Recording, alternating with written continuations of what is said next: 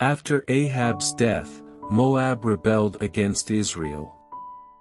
Now Ahaziah had fallen through the lattice of his upper room in Samaria and injured himself. So he sent messengers, saying to them, Go and consult Baal-zebub, the god of Ekron, to see if I will recover from this injury. But the angel of the Lord said to Elijah the Tishbite, Go up and meet the messengers of the king of Samaria and ask them, is it because there is no God in Israel that you are going off to consult Baal-zebub, the god of Ekron? Therefore this is what the Lord says, You will not leave the bed you are lying on. You will certainly die. So Elijah went. When the messengers returned to the king, he asked them, Why have you come back? A man came to meet us, they replied. And he said to us, Go back to the king who sent you and tell him, This is what the Lord says. Is it because there is no God in Israel that you are sending men to consult Baal-zebub, the god of Ekron? Therefore you will not leave the bed you are lying on. You will certainly die.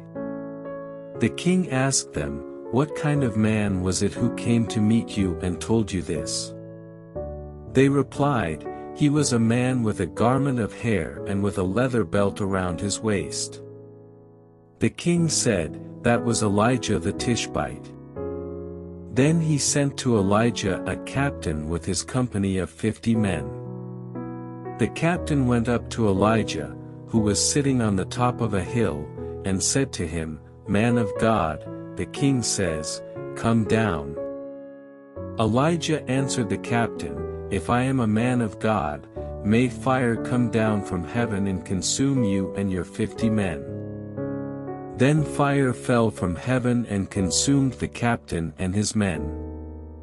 At this the king sent to Elijah another captain with his fifty men. The captain said to him, Man of God, this is what the king says, come down at once. If I am a man of God, Elijah replied, May fire come down from heaven and consume you and your fifty men. Then the fire of God fell from heaven and consumed him and his fifty men. So the king sent a third captain with his fifty men. This third captain went up and fell on his knees before Elijah. Man of God, he begged, please have respect for my life and the lives of these fifty men, your servants. See, fire has fallen from heaven and consumed the first two captains and all their men. But now have respect for my life. The angel of the Lord said to Elijah, Go down with him, do not be afraid of him. So Elijah got up and went down with him to the king. He told the king, This is what the Lord says, is it because there is no God in Israel for you to consult that you have sent messengers to consult Baal-zebub, the god of Ekron?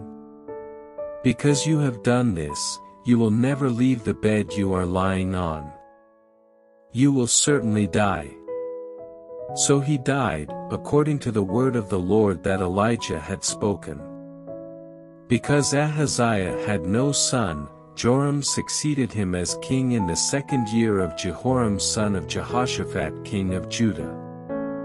As for all the other events of Ahaziah's reign, and what he did, are they not written in the book of the annals of the kings of Israel? When the Lord was about to take Elijah up to heaven in a whirlwind, Elijah and Elisha were on their way from Gilgal. Elijah said to Elisha, Stay here, the Lord has sent me to Bethel. But Elisha said, As surely as the Lord lives and as you live, I will not leave you. So they went down to Bethel. The company of the prophets at Bethel came out to Elisha and asked, Do you know that the Lord is going to take your master from you today? Yes, I know, Elisha replied, but do not speak of it. Then Elijah said to him, Stay here, Elisha, the Lord has sent me to Jericho. And he replied, As surely as the Lord lives and as you live, I will not leave you. So they went to Jericho. The company of the prophets at Jericho went up to Elisha and asked him, Do you know that the Lord is going to take your master from you today? Yes, I know, he replied, but do not speak of it. Then Elijah said to him, Stay here, the Lord has sent me to the Jordan. And he replied, As surely as the Lord lives and as you live, I will not leave you. So the two of them walked on. Fifty men of the company of the prophets went and stood at a distance, facing the place where Elijah and Elisha had stopped at the Jordan. Elijah took his cloak, rolled it up and struck the water with it. The water divided to the right and to the left, and the two of them crossed over on dry ground. When they had crossed, Elijah said to Elisha, Tell me, what can I do for you before I am taken from you? Let me inherit a double portion of your spirit, Elisha replied. You have asked a difficult thing, Elijah said, yet if you see me when I am taken from you, it will be yours otherwise not. As they were walking along and talking together, suddenly a chariot of fire and horses of fire appeared and separated the two of them, and Elijah went up to heaven in a whirlwind. Elisha saw this and cried out, My father! My father! The chariots and horsemen of Israel! And Elisha saw him no more. Then he took hold of his own clothes and tore them apart.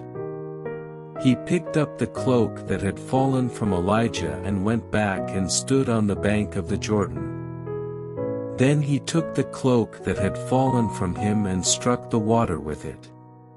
Where now is the Lord, the God of Elijah? he asked. When he struck the water, it divided to the right and to the left, and he crossed over. The company of the prophets from Jericho, who were watching, said, The spirit of Elijah is resting on Elisha. And they went to meet him and bowed to the ground before him. Look, they said, we your servants have fifty able men. Let them go and look for your master. Perhaps the Spirit of the Lord has picked him up and set him down on some mountain or in some valley. No, Elisha replied, do not send them. But they persisted until he was too ashamed to refuse. So he said, Send them. And they sent fifty men, who searched for three days but did not find him. When they returned to Elisha, who was staying in Jericho, he said to them, Didn't I tell you not to go? The men of the city said to Elisha, Look, our Lord, this town is well situated, as you can see, but the water is bad and the land is unproductive. Bring me a new bowl, he said, and put salt in it. So they brought it to him. Then he went out to the spring and threw the salt into it, saying, This is what the Lord says, I have healed this water. Never again will it cause death or make the land unproductive. And the water has remained wholesome to this day, according to the word Elisha had spoken. From there Elisha went up to Bethel. As he was walking along the road, some youths came out of the town and jeered at him. Go on up, you bald head, they said. Go on up, you bald head. He turned around, looked at them and called down a curse on them in the name of the Lord. Then two bears came out of the woods and mauled forty-two of the youths. And he went on to Mount Carmel and from there returned to Samaria. Joram son of Ahab became king of Israel in Samaria in the eighteenth year of Jehoshaphat king of Judah, and he reigned twelve years. He did evil in the eyes of the Lord, but not as his father and mother had done. He got rid of the sacred stone of Baal that his father had made. Nevertheless he clung to the sins of Jeroboam son of Nebat, which he had caused Israel to commit, he did not turn away from them. Now Mesha king of Moab raised sheep, and he had to supply the king of Israel with a hundred thousand lambs and with the wool of a hundred thousand rams. But after Ahab died, the king of Moab rebelled against the king of Israel. So at that time King Joram set out from Samaria and mobilized all Israel. He also sent this message to Jehoshaphat king of Judah, the king of Moab has rebelled against me. Will you go with me to fight against Moab? I will go with you, he replied. I am as you are, my people as your people, my horses as your horses. By what route shall we attack, he asked. Through the desert of Edom, he answered. So the king of Israel set out with the king of Judah and the king of Edom. After a roundabout march of seven days, the army had no more water for themselves or for the animals with them. What, exclaimed the king of Israel. Has the Lord called us three kings together only to hand us over to Moab? But Jehoshaphat asked, Is there no prophet of the Lord here, that we may inquire of the Lord through him? An officer of the king of Israel answered, Elisha son of Shaphat is here. He used to pour water on the hands of Elijah. Jehoshaphat said, The word of the Lord is with him. So the king of Israel and Jehoshaphat and the king of Edom went down to him. Elisha said to the king of Israel, what do we have to do with each other? Go to the prophets of your father and the prophets of your mother. No, the king of Israel answered, because it was the Lord who called us three kings together to hand us over to Moab. Elisha said, As surely as the Lord Almighty lives, whom I serve, if I did not have respect for the presence of Jehoshaphat king of Judah, I would not look at you or even notice you. But now bring me a harpist. While the harpist was playing, the hand of the Lord came upon Elisha. And he said, This is what the Lord says, make this valley full of ditches. For this is what the Lord says, you will see neither wind nor rain, yet this valley will be filled with water, and you, your cattle and your other animals will drink. This is an easy thing in the eyes of the Lord, he will also hand Moab over to you. You will overthrow every fortified city and every major town. You will cut down every good tree, stop up all the springs, and ruin every good field with stones. The next morning, about the time for offering the sacrifice, there it was water flowing from the direction of Edom, and the land was filled with water. Now all the Moabites had heard that the kings had come to fight against them, so every man, young and old, who could bear arms was called up and stationed on the border. When they got up early in the morning, the sun was shining on the water. To the Moabites across the way, the water looked red like blood. That's blood, they said. Those kings must have fought and slaughtered each other. Now to the plunder, Moab. But when the Moabites came to the camp of Israel, the Israelites rose up and fought them until they fled. And the Israelites invaded the land and slaughtered the Moabites. They destroyed the towns, and each man threw a stone on every good field until it was covered. They stopped up all the springs and cut down every good tree. Only Kir Hareseth was left with its stones in place, but men armed with slings surrounded it and attacked it as well.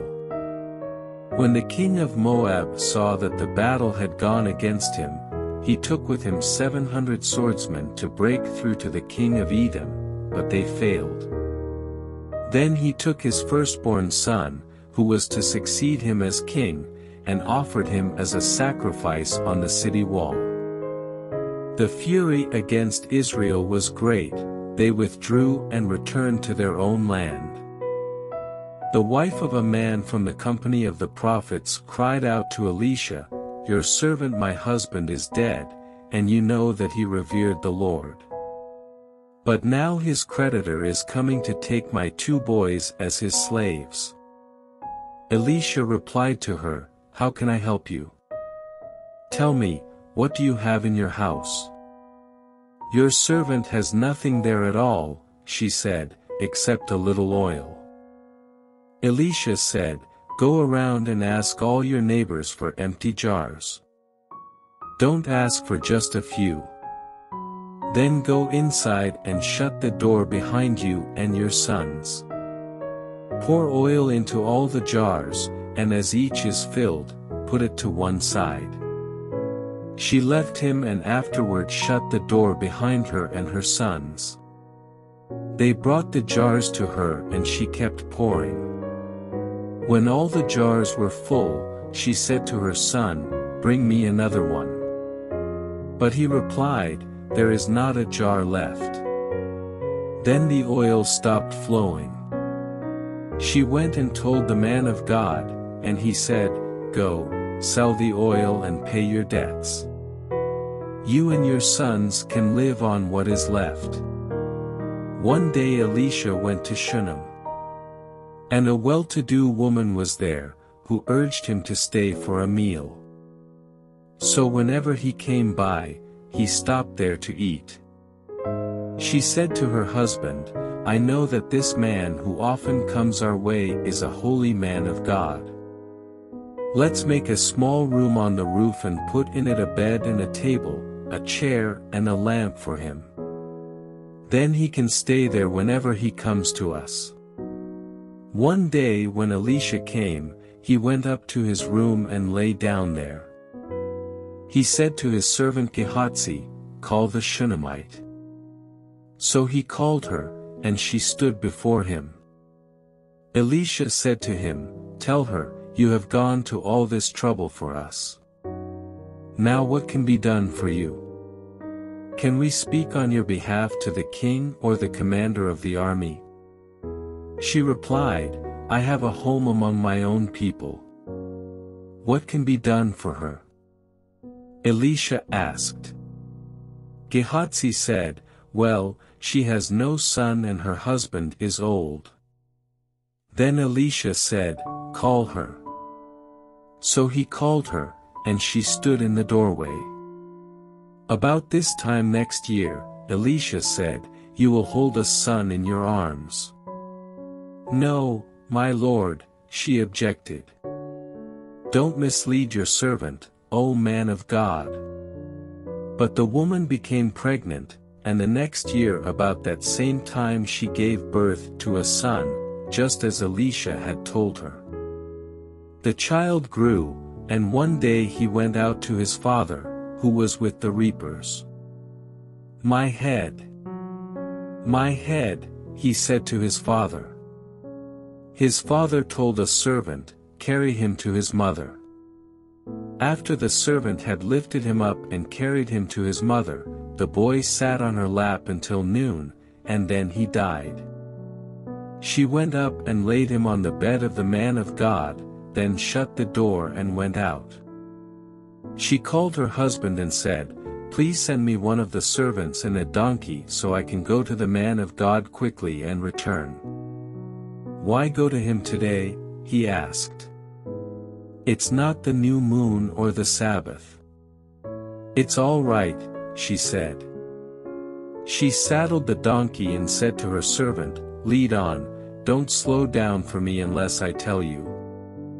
So she set out and came to the man of God at Mount Carmel. When he saw her in the distance, the man of God said to his servant Gehazi, Look! There's the Shunammite. Run to meet her and ask her, Are you all right? Is your husband all right? Is your child all right? Everything is all right, she said. When she reached the man of God at the mountain, she took hold of his feet. Gehazi came over to push her away, but the man of God said, Leave her alone. She is in bitter distress, but the Lord has hidden it from me and has not told me why. Did I ask you for a son, my Lord? she said. Didn't I tell you, don't raise my hopes? Elisha said to Gehazi, Tuck your cloak into your belt, take my staff in your hand and run. If you meet anyone, do not greet him, and if anyone greets you, do not answer. Lay my staff on the boy's face. But the child's mother said, As surely as the Lord lives and as you live, I will not leave you.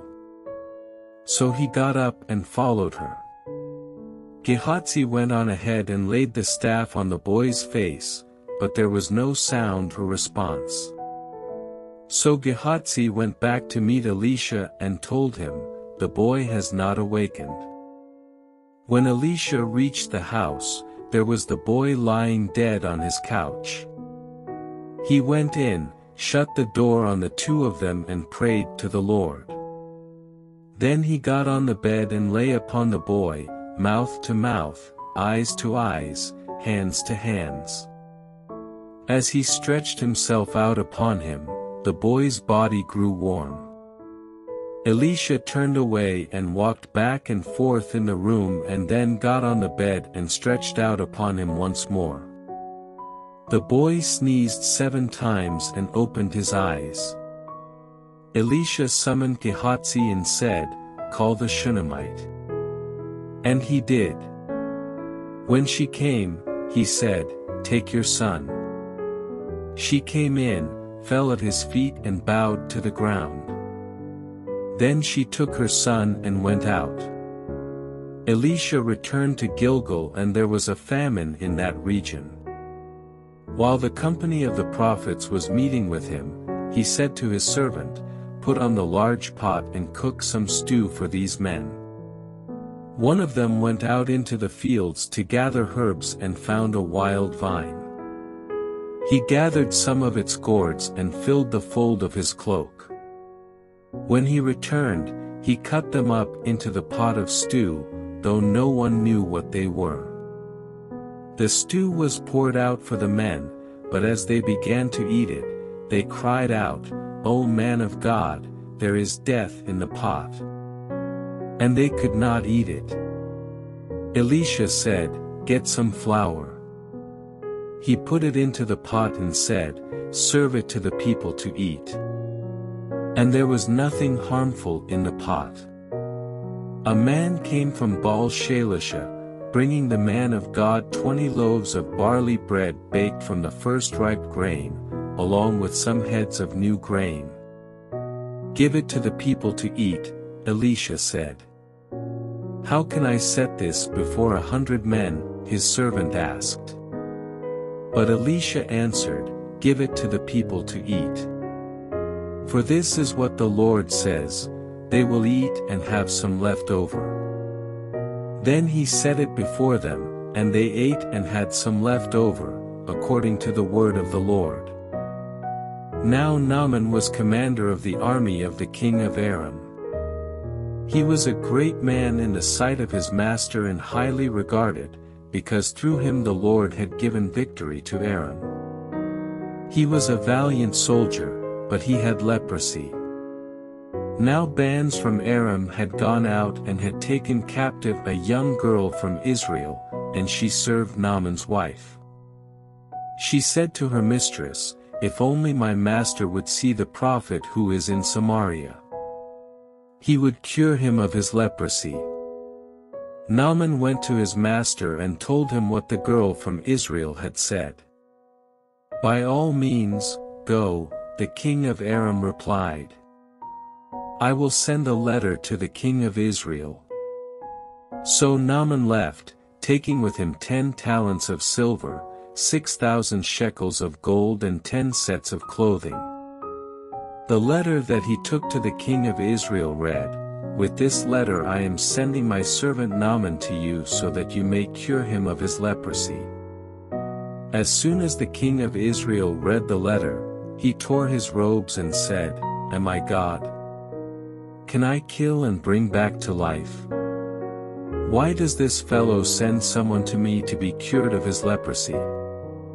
See how he is trying to pick a quarrel with me. When Elisha the man of God heard that the king of Israel had torn his robes, he sent him this message, Why have you torn your robes? Have the man come to me and he will know that there is a prophet in Israel. So Naaman went with his horses and chariots and stopped at the door of Elisha's house. Elisha sent a messenger to say to him, Go, wash yourself seven times in the Jordan, and your flesh will be restored and you will be cleansed. But Naaman went away angry and said, I thought that he would surely come out to me and stand and call on the name of the Lord his God, wave his hand over the spot and cure me of my leprosy. Are not Abana and Pharpar, the rivers of Damascus, better than any of the waters of Israel? Couldn't I wash in them and be cleansed? So he turned and went off in a rage. Naaman's servants went to him and said, My father, if the prophet had told you to do some great thing, would you not have done it? How much more, then, when he tells you, Wash and be cleansed? So he went down and dipped himself in the Jordan seven times, as the man of God had told him, and his flesh was restored and became clean like that of a young boy. Then Naaman and all his attendants went back to the man of God. He stood before him and said, Now I know that there is no God in all the world except in Israel. Please accept now a gift from your servant. The prophet answered, As surely as the Lord lives, whom I serve, I will not accept a thing. And even though Naaman urged him, he refused.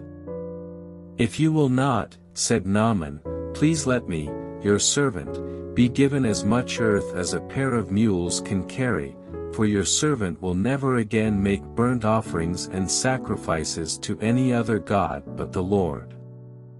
But may the Lord forgive your servant for this one thing, when my master enters the temple of Rimmon to bow down and he is leaning on my arm and I bow there also when I bow down in the temple of Rimmon, may the Lord forgive your servant for this. Go in peace, Elisha said. After Naaman had traveled some distance, Gehazi, the servant of Elisha the man of God, said to himself, My master was too easy on Naaman, this Aramean, by not accepting from him what he brought.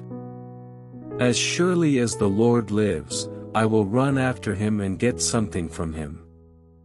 So Gehazi hurried after Naaman. When Naaman saw him running toward him, he got down from the chariot to meet him. Is everything all right? he asked. Everything is all right, Gehazi answered. My master sent me to say, Two young men from the company of the prophets have just come to me from the hill country of Ephraim. Please give them a talent of silver and two sets of clothing. By all means, take two talents, said Naaman. He urged Gehazi to accept them, and then tied up the two talents of silver in two bags, with two sets of clothing. He gave them to two of his servants, and they carried them ahead of Gehazi. When Gehazi came to the hill, he took the things from the servants and put them away in the house.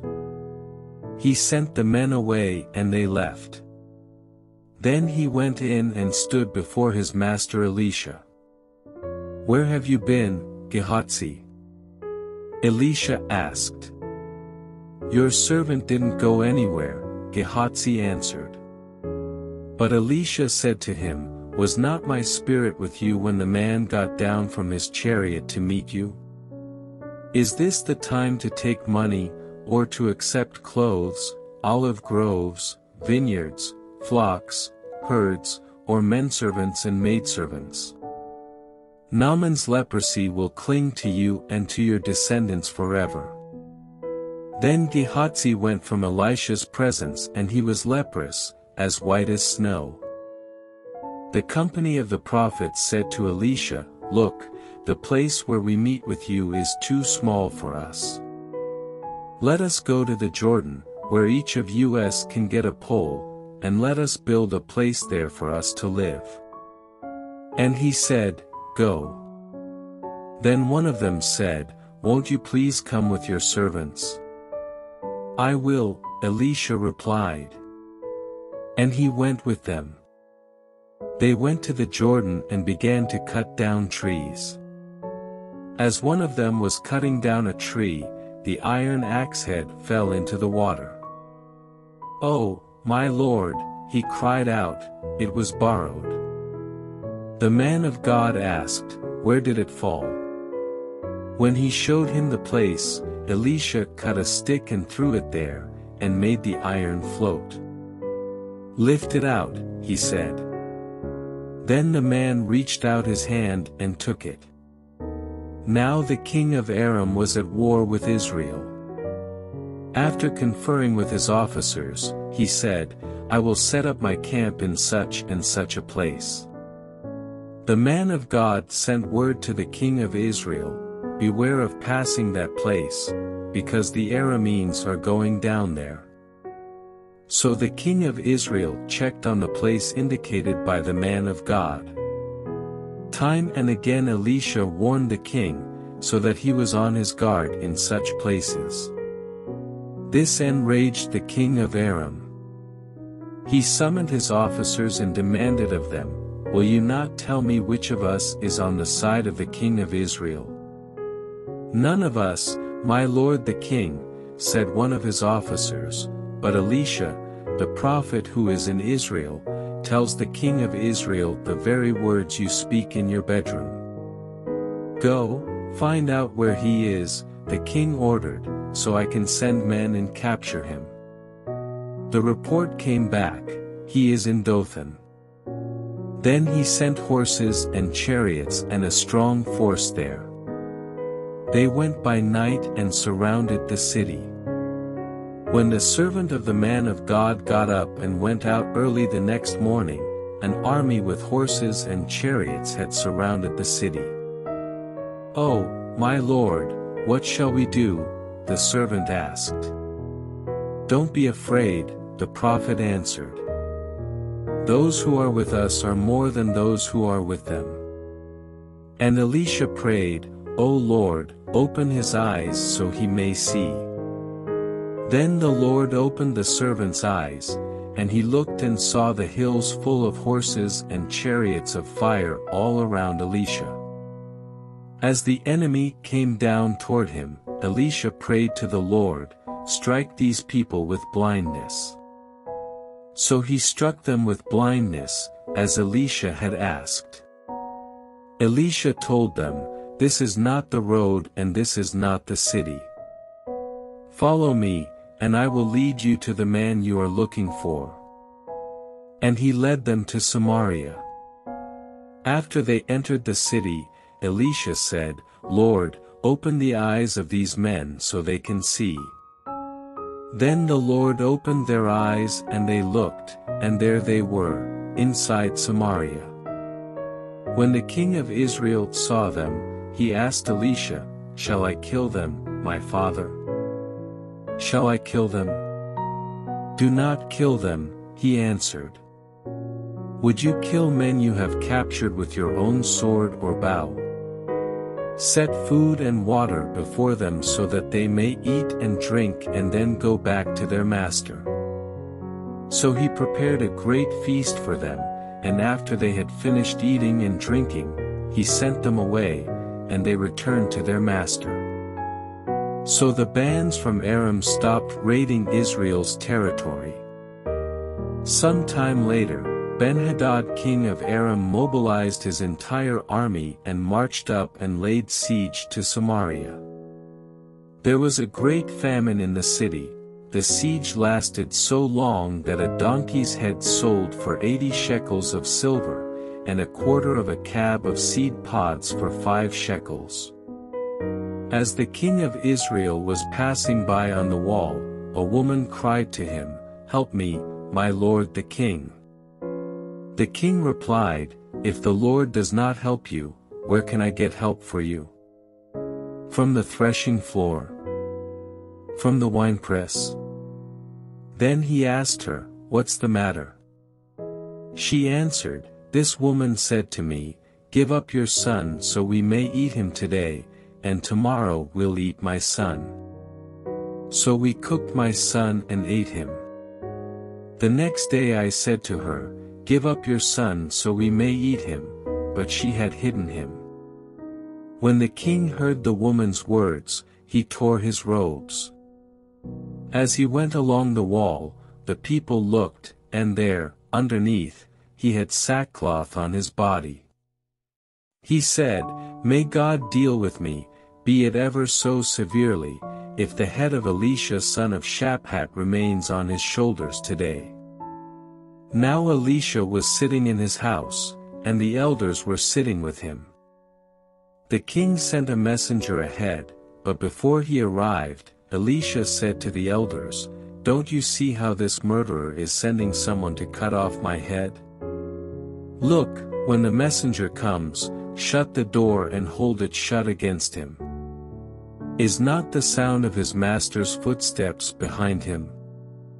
While he was still talking to them, the messenger came down to him. And the king said, This disaster is from the Lord. Why should I wait for the Lord any longer? Elisha said, Hear the word of the Lord. This is what the Lord says, About this time tomorrow, a seah of flour will sell for a shekel and two seahs of barley for a shekel at the gate of Samaria. The officer on whose arm the king was leaning said to the man of God, Look, even if the Lord should open the floodgates of the heavens, could this happen? You will see it with your own eyes, answered Elisha, but you will not eat any of it. Now there were four men with leprosy at the entrance of the city gate. They said to each other, Why stay here until we die? If we say, We'll go into the city the famine is there, and we will die. And if we stay here, we will die.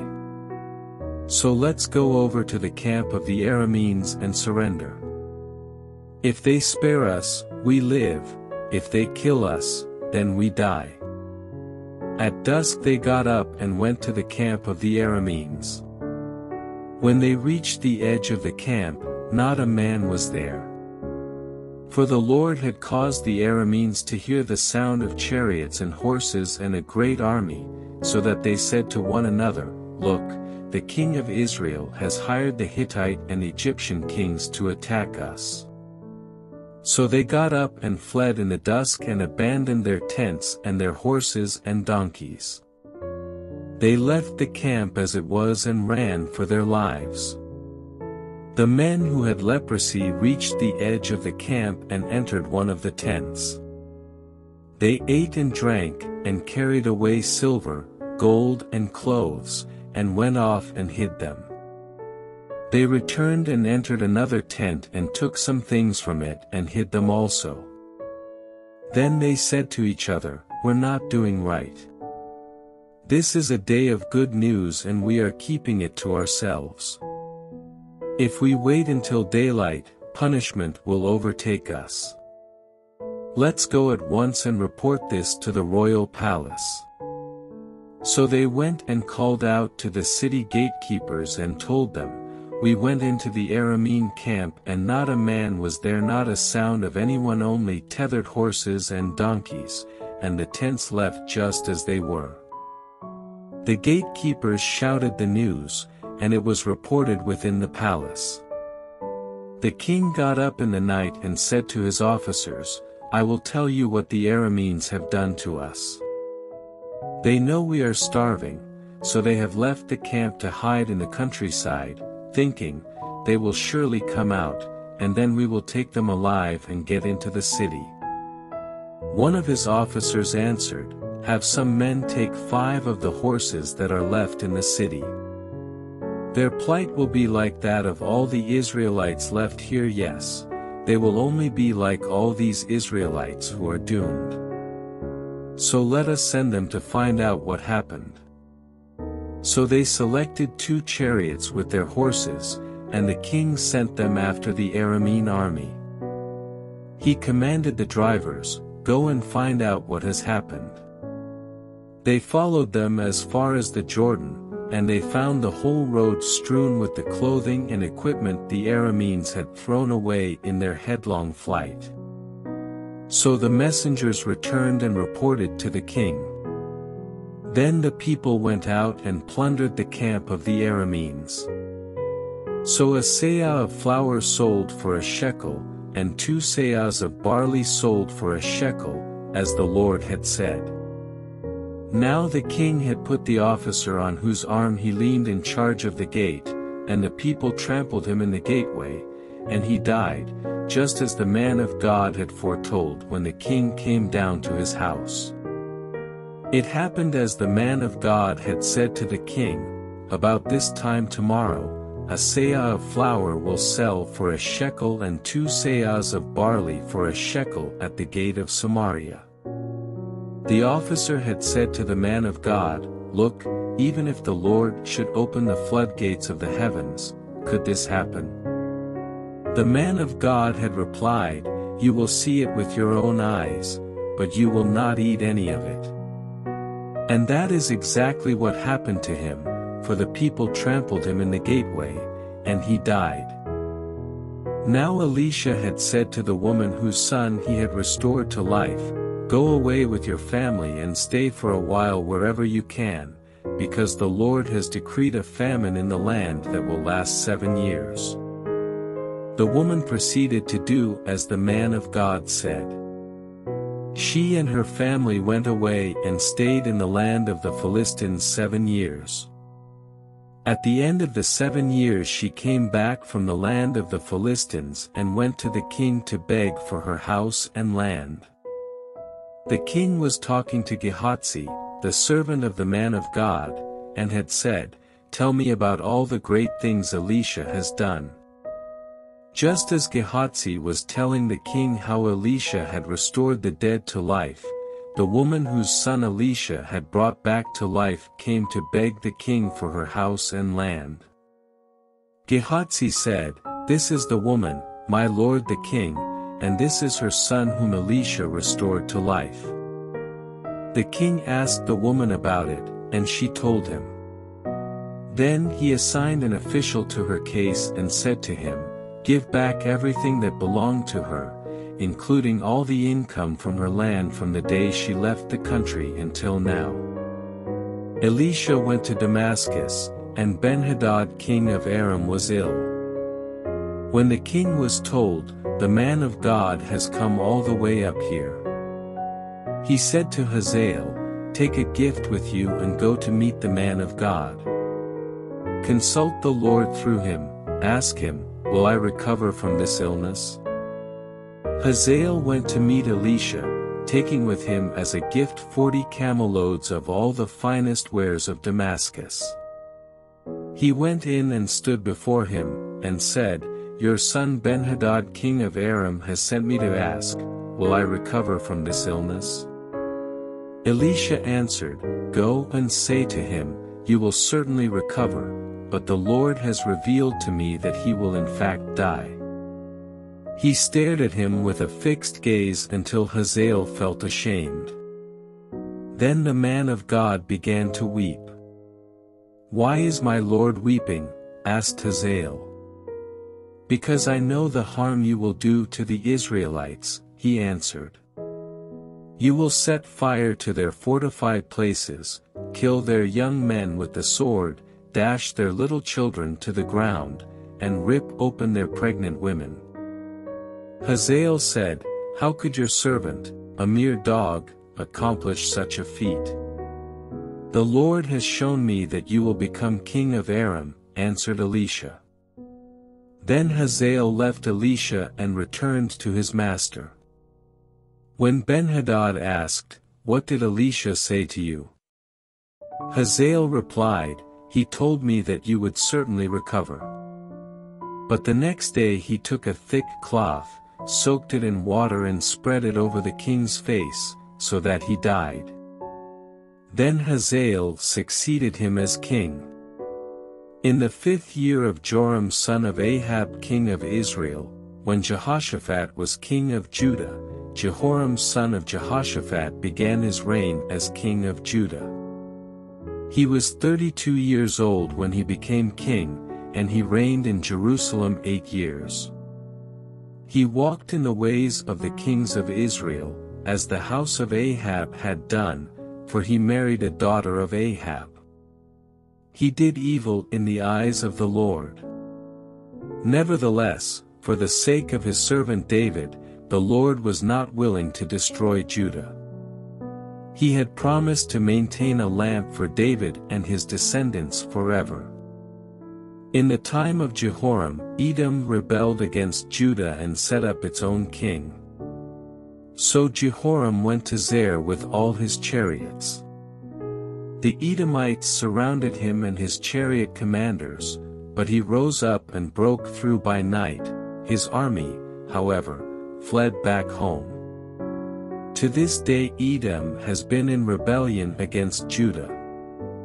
Libnah revolted at the same time. As for the other events of Jehoram's reign, and all he did, are they not written in the book of the annals of the kings of Judah? Jehoram rested with his fathers and was buried with them in the city of David. And Ahaziah his son succeeded him as king. In the twelfth year of Joram son of Ahab king of Israel, Ahaziah son of Jehoram king of Judah began to reign.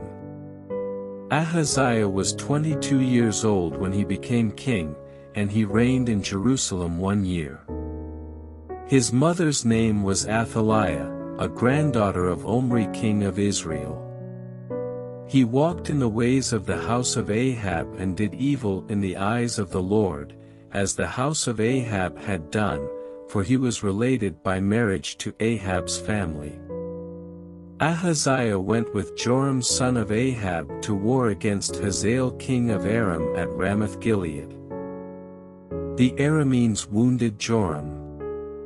So King Joram returned to Jezreel to recover from the wounds the Arameans had inflicted on him at Ramoth in his battle with Hazael king of Aram. Then Ahaziah son of Jehoram king of Judah went down to Jezreel to see Joram son of Ahab, because he had been wounded. The prophet Elisha summoned a man from the company of the prophets and said to him, Tuck your cloak into your belt, Take this flask of oil with you and go to Ramoth-Gilead. When you get there, look for Jehu son of Jehoshaphat, the son of Nimshi.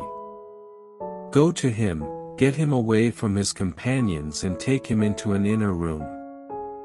Then take the flask and pour the oil on his head and declare, This is what the Lord says, I anoint you king over Israel. Then open the door and run, don't delay.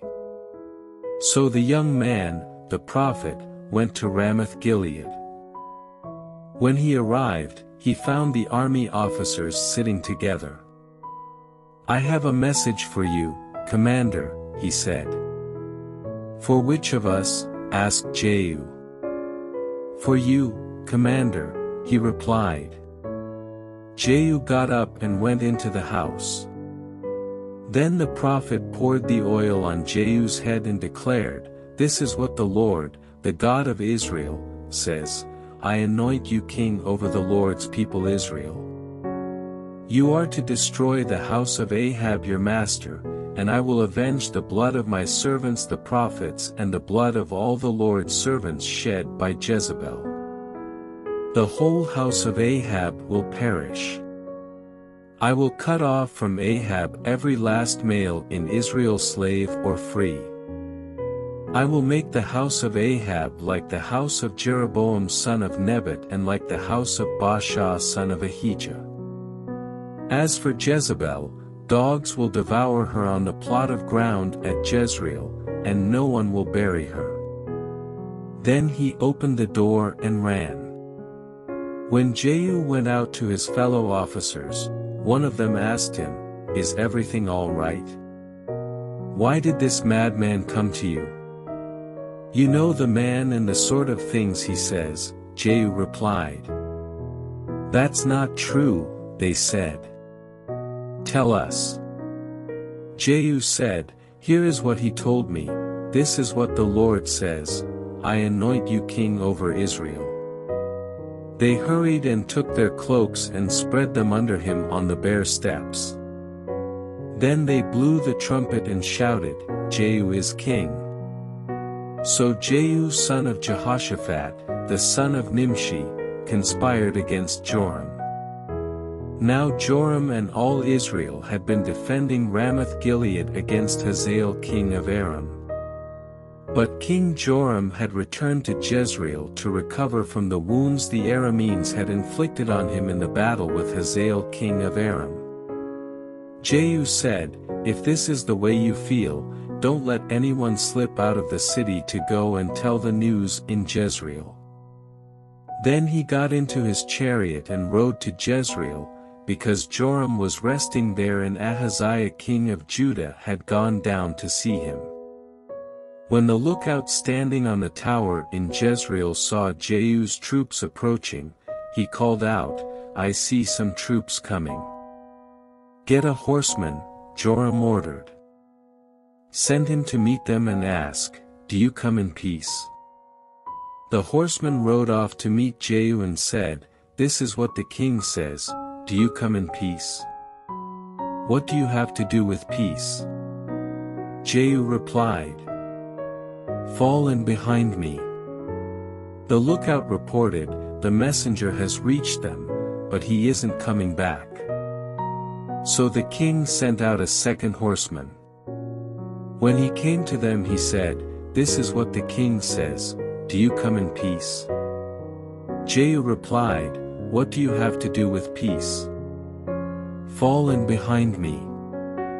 The lookout reported, He has reached them, but he isn't coming back either. The driving is like that of Jehu son of Nimshi he drives like a madman. Hitch up my chariot, Joram ordered. And when it was hitched up, Joram king of Israel and Ahaziah king of Judah rode out, each in his own chariot, to meet Jehu. They met him at the plot of ground that had belonged to Naboth the Jezreelite. When Joram saw Jehu he asked, Have you come in peace, Jehu? How can there be peace, Jehu replied, as long as all the idolatry and witchcraft of your mother Jezebel abound. Joram turned about and fled, calling out to Ahaziah, Treachery, Ahaziah. Then Jehu drew his bow and shot Joram between the shoulders. The arrow pierced his heart and he slumped down in his chariot. Jehu said to Bidkar, his chariot officer, pick him up and throw him on the field that belonged to Naboth the Jezreelite. Remember how you and I were riding together in chariots behind Ahab his father when the Lord made this prophecy about him. Yesterday I saw the blood of Naboth and the blood of his sons, declares the Lord, and I will surely make you pay for it on this plot of ground, declares the Lord. Now then, pick him up and throw him on that plot, in accordance with the word of the Lord. When Ahaziah king of Judah saw what had happened, he fled up the road to Beth-Haggan. Jehu chased him, shouting, Kill him too. They wounded him in his chariot on the way up to Gur near Ibleam, but he escaped to Megiddo and died there. His servants took him by chariot to Jerusalem and buried him with his fathers in his tomb in the city of David. In the eleventh year of Joram son of Ahab, Ahaziah had become king of Judah. Then Jehu went to Jezreel. When Jezebel heard about it, she painted her eyes, arranged her hair and looked out of a window. As Jehu entered the gate, she asked, Have you come in peace, Zimri, you murderer of your master? He looked up at the window and called out, Who is on my side? Who? Two or three eunuchs looked down at him. Throw her down. Jehu said. So they threw her down, and some of her blood spattered the wall and the horses as they trampled her underfoot. Jehu went in and ate and drank.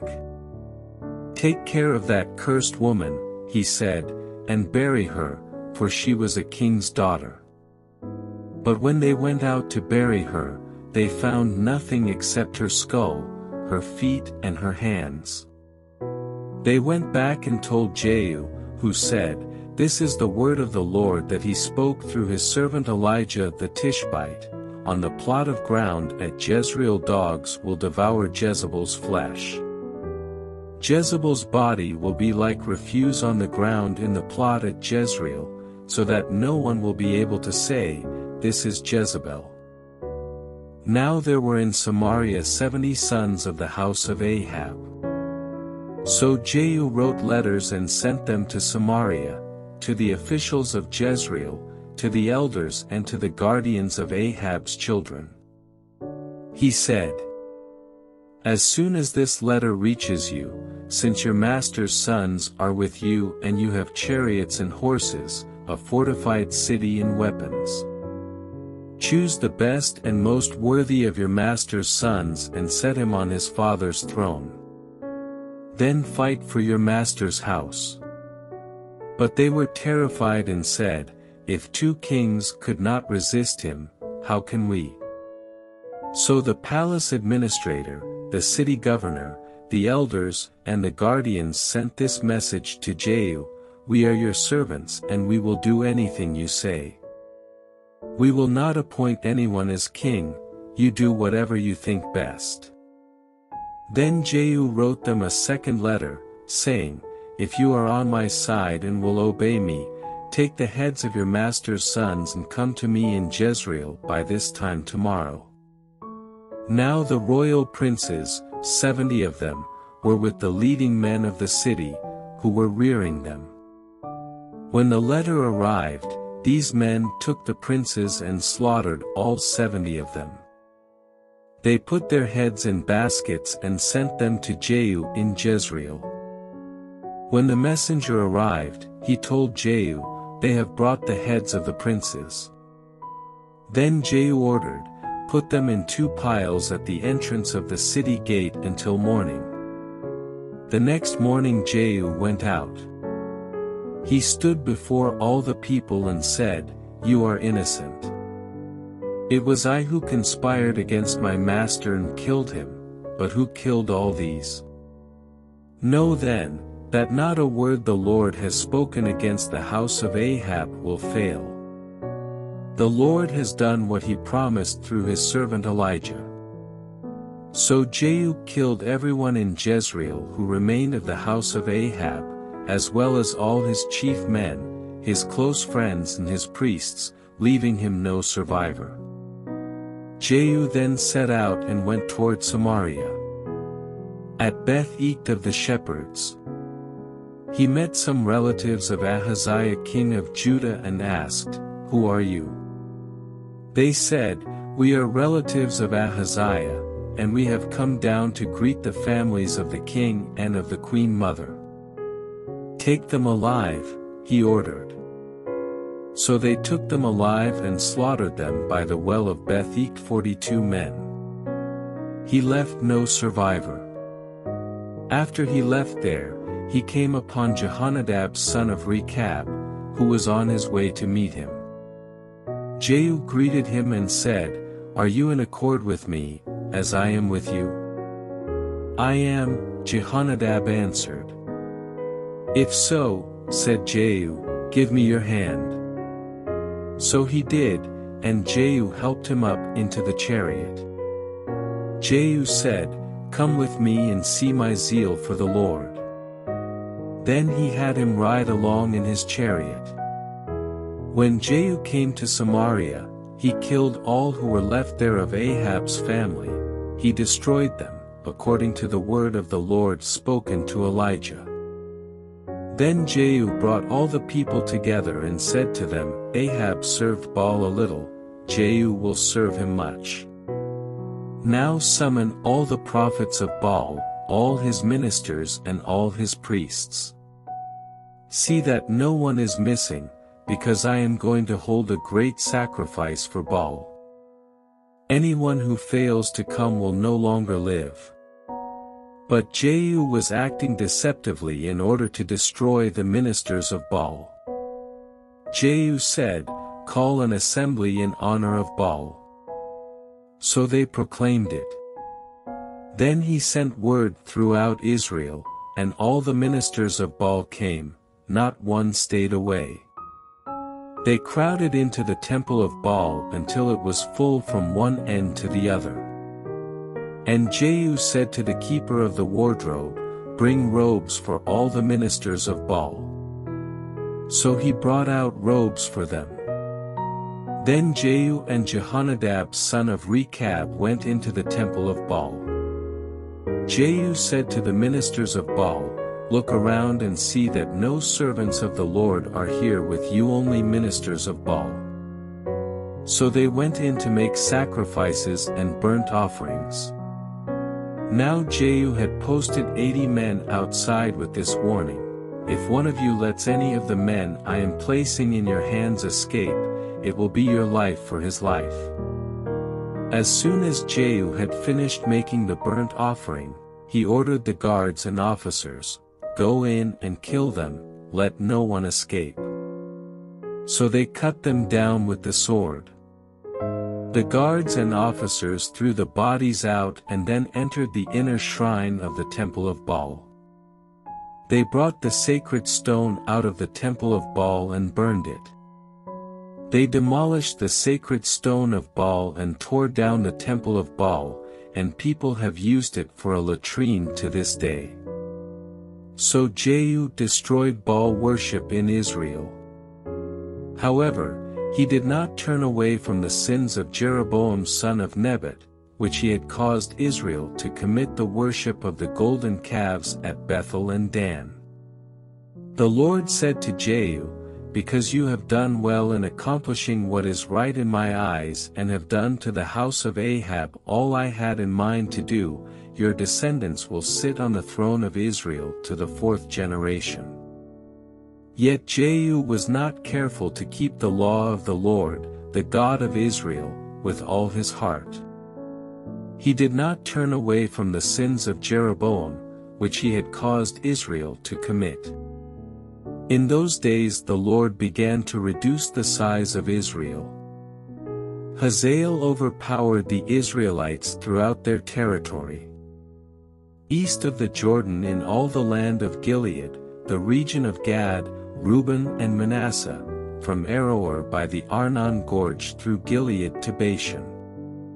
As for the other events of Jehu's reign, all he did, and all his achievements, are they not written in the book of the annals of the kings of Israel? Jehu rested with his fathers and was buried in Samaria. And Jehoahaz his son succeeded him as king. The time that Jehu reigned over Israel in Samaria was 28 years. When Athaliah the mother of Ahaziah saw that her son was dead, she proceeded to destroy the whole royal family. But Jehosheba, the daughter of King Jehoram and sister of Ahaziah, took Joash son of Ahaziah and stole him away from among the royal princes, who were about to be murdered. She put him and his nurse in a bedroom to hide him from Athaliah, so he was not killed. He remained hidden with his nurse at the temple of the Lord for six years while Athaliah ruled the land.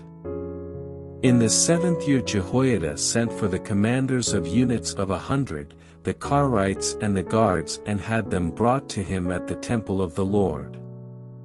He made a covenant with them and put them under oath at the temple of the Lord. Then he showed them the king's son. He commanded them, saying, this is what you are to do, you who are in the three companies that are going on duty on the Sabbath a third of you guarding the royal palace. A third at the Sur gate, and a third at the gate behind the guard, who take turns guarding the temple. And you who are in the other two companies that normally go off Sabbath duty are all to guard the temple for the king. Station yourselves around the king, each man with his weapon in his hand. Anyone who approaches your ranks must be put to death. Stay close to the king wherever he goes. The commanders of units of a hundred did just as Jehoiada the priest ordered. Each one took his men those who were going on duty on the Sabbath and those who were going off duty and came to Jehoiada the priest. Then he gave the commanders the spears and shields that had belonged to King David and that were in the temple of the Lord. The guards, each with his weapon in his hand, stationed themselves around the king near the altar and the temple, from the south side to the north side of the temple. Jehoiada brought out the king's son and put the crown on him, he presented him with a copy of the covenant and proclaimed him king. They anointed him, and the people clapped their hands and shouted, Long live the king! When Athaliah heard the noise made by the guards and the people, she went to the people at the temple of the Lord. She looked and there was the king, standing by the pillar, as the custom was. The officers and the trumpeters were beside the king, and all the people of the land were rejoicing and blowing trumpets. Then Athaliah tore her robes and called out, Treason! Treason! Jehoiada the priest ordered the commanders of units of a hundred, who were in charge of the troops, bring her out between the ranks and put to the sword anyone who follows her. For the priest had said, she must not be put to death in the temple of the Lord. So they seized her as she reached the place where the horses enter the palace grounds, and there she was put to death. Jehoiada then made a covenant between the Lord and the king and people that they would be the Lord's people. He also made a covenant between the king and the people. All the people of the land went to the temple of Baal and tore it down. They smashed the altars and idols to pieces and killed Mattan the priest of Baal in front of the altars. Then Jehoiada the priest posted guards at the temple of the Lord. He took with him the commanders of hundreds, the Carites, the guards, and all the people of the land, and together they brought the king down from the temple of the Lord and went into the palace, entering by way of the gate of the guards. The king then took his place on the royal throne. And all the people of the land rejoiced. And the city was quiet, because Athaliah had been slain with the sword at the palace. Joash was seven years old when he began to reign. In the seventh year of Jehu, Joash became king, and he reigned in Jerusalem forty years. His mother's name was Zibiah, she was from Beersheba. Joash did what was right in the eyes of the Lord all the years Jehoiada the priest instructed him. The high places, however, were not removed, the people continued to offer sacrifices and burn incense there. Joash said to the priests, Collect all the money that is brought as sacred offerings to the temple of the Lord, the money collected in the census, the money received from personal vows and the money brought voluntarily to the temple. Let every priest receive the money from one of the treasurers, and let it be used to repair whatever damage is found in the temple.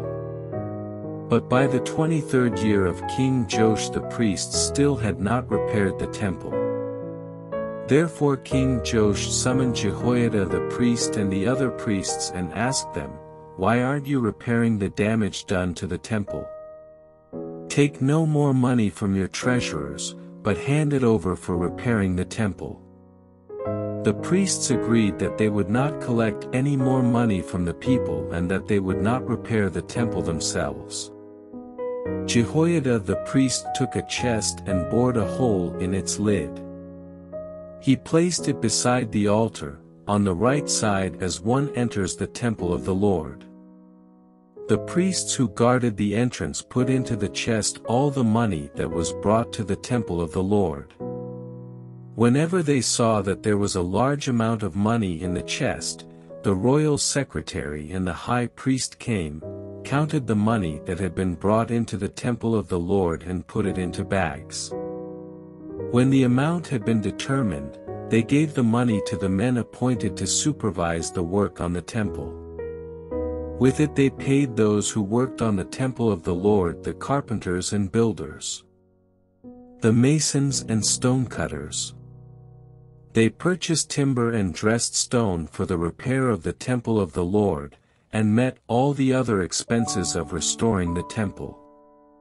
The money brought into the temple was not spent for making silver basins, wick trimmers, sprinkling bowls, trumpets or any other articles of gold or silver for the temple of the Lord. It was paid to the workmen, who used it to repair the temple. They did not require an accounting from those to whom they gave the money to pay the workers, because they acted with complete honesty. The money from the guilt offerings and sin offerings was not brought into the temple of the Lord, it belonged to the priests. About this time Hazael king of Aram went up and attacked Gath and captured it. Then he turned to attack Jerusalem. But Joash king of Judah took all the sacred objects dedicated by his fathers Jehoshaphat, Jehoram and Ahaziah, the kings of Judah and the gifts he himself had dedicated and all the gold found in the treasuries of the temple of the Lord and of the royal palace, and he sent them to Hazael king of Aram, who then withdrew from Jerusalem. As for the other events of the reign of Joash, and all he did, are they not written in the book of the annals of the kings of Judah? His officials conspired against him and assassinated him at Beth Millo, on the road down to Silla. The officials who murdered him were Jozabad son of Shimeath and Jehozabad son of Shomer. He died and was buried with his fathers in the city of David. And Amaziah his son succeeded him as king. In the twenty-third year of Joash son of Ahaziah king of Judah, Jehoahaz son of Jehu became king of Israel in Samaria, and he reigned seventeen years. He did evil in the eyes of the Lord by following the sins of Jeroboam son of Nebat, which he had caused Israel to commit, and he did not turn away from them. So the Lord's anger burned against Israel, and for a long time he kept them under the power of Hazael king of Aram and Benhadad his son. Then Jehoahaz sought the Lord's favor, and the Lord listened to him, for he saw how severely the king of Aram was oppressing Israel.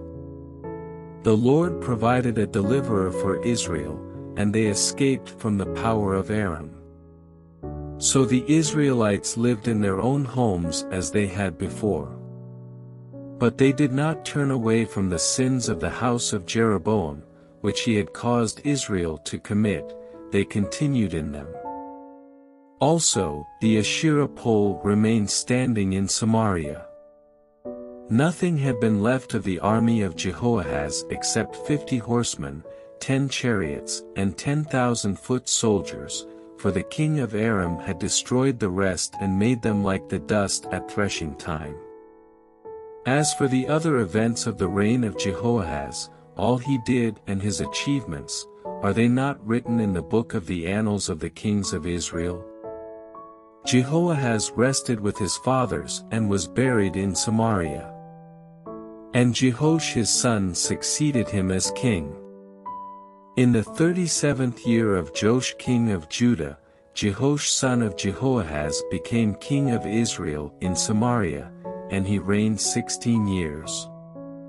He did evil in the eyes of the Lord and did not turn away from any of the sins of Jeroboam son of Nebat, which he had caused Israel to commit, he continued in them. As for the other events of the reign of Jehoash, all he did and his achievements, including his war against Amaziah king of Judah, are they not written in the book of the annals of the kings of Israel? Jehoash rested with his fathers, and Jeroboam succeeded him on the throne. Jehoash was buried in Samaria with the kings of Israel. Now Elisha was suffering from the illness from which he died. Jehoash king of Israel went down to see him and wept over him. My father! My father, he cried. The chariots and horsemen of Israel. Elisha said, Get a bow and some arrows, and he did so. Take the bow in your hands, he said to the king of Israel. When he had taken it, Elisha put his hands on the king's hands. Open the east window, he said, and he opened it. Shoot. Elisha said, and he shot. The Lord's arrow of victory, the arrow of victory over Aram. Elisha declared. You will completely destroy the Arameans at Aphek. Then he said, Take the arrows, and the king took them. Elisha told him, Strike the ground. He struck it three times and stopped. The man of God was angry with him and said, You should have struck the ground five or six times, then you would have defeated Aram and completely destroyed it. But now you will defeat it only three times. Elisha died and was buried. Now Moabite raiders used to enter the country every spring. Once while some Israelites were burying a man, suddenly they saw a band of raiders, so they threw the man's body into Elisha's tomb. When the body touched Elisha's bones, the man came to life and stood up on his feet. Hazael king of Aram oppressed Israel throughout the reign of Jehoahaz. But the Lord was gracious to them and had compassion and showed concern for them because of his covenant with Abraham, Isaac and Jacob. To this day he has been unwilling to destroy them or banish them from his presence. Hazael king of Aram died, and Benhadad his son succeeded him as king. Then Jehoash son of Jehoahaz recaptured from Benhadad son of Hazael the towns he had taken in battle from his father Jehoahaz. Three times Jehoash defeated him, and so he recovered the Israelite towns. In the second year of Jehoash son of Jehoahaz king of Israel, Amaziah son of Joash king of Judah began to reign. He was 25 years old when he became king, and he reigned in Jerusalem 29 years. His mother's name was Jehoaddan, she was from Jerusalem. He did what was right in the eyes of the Lord, but not as his father David had done. In everything he followed the example of his father Joash. The high places, however, were not removed, the people continued to offer sacrifices and burn incense there. After the kingdom was firmly in his grasp, he executed the officials who had murdered his father the king. Yet he did not put the sons of the assassins to death, in accordance with what is written in the book of the law of Moses where the Lord commanded, Fathers shall not be put to death for their children, nor children put to death for their fathers, each is to die for his own sins. He was the one who defeated 10,000 Edomites in the valley of Salt and captured Selah in battle, calling it Joktheel, the name it has to this day. Then Amaziah sent messengers to Jehoash son of Jehoahaz, the son of Jehu, king of Israel, with the challenge, Come, meet me face to face. But Jehoash king of Israel replied to Amaziah king of Judah, a thistle in Lebanon sent a message to a cedar in Lebanon, Give your daughter to my son in marriage. Then a wild beast in Lebanon came along and trampled the thistle underfoot. You have indeed defeated Edom and now you are arrogant. Glory in your victory, but stay at home. Why ask for trouble and cause your own downfall and that of Judah also? Amaziah, however, would not listen, so Jehoash king of Israel attacked. He and Amaziah king of Judah faced each other at Beth Shemesh in Judah. Judah was routed by Israel, and every man fled to his home. Jehoash king of Israel captured Amaziah king of Judah, the son of Joash, the son of Ahaziah, at Beth Shemesh.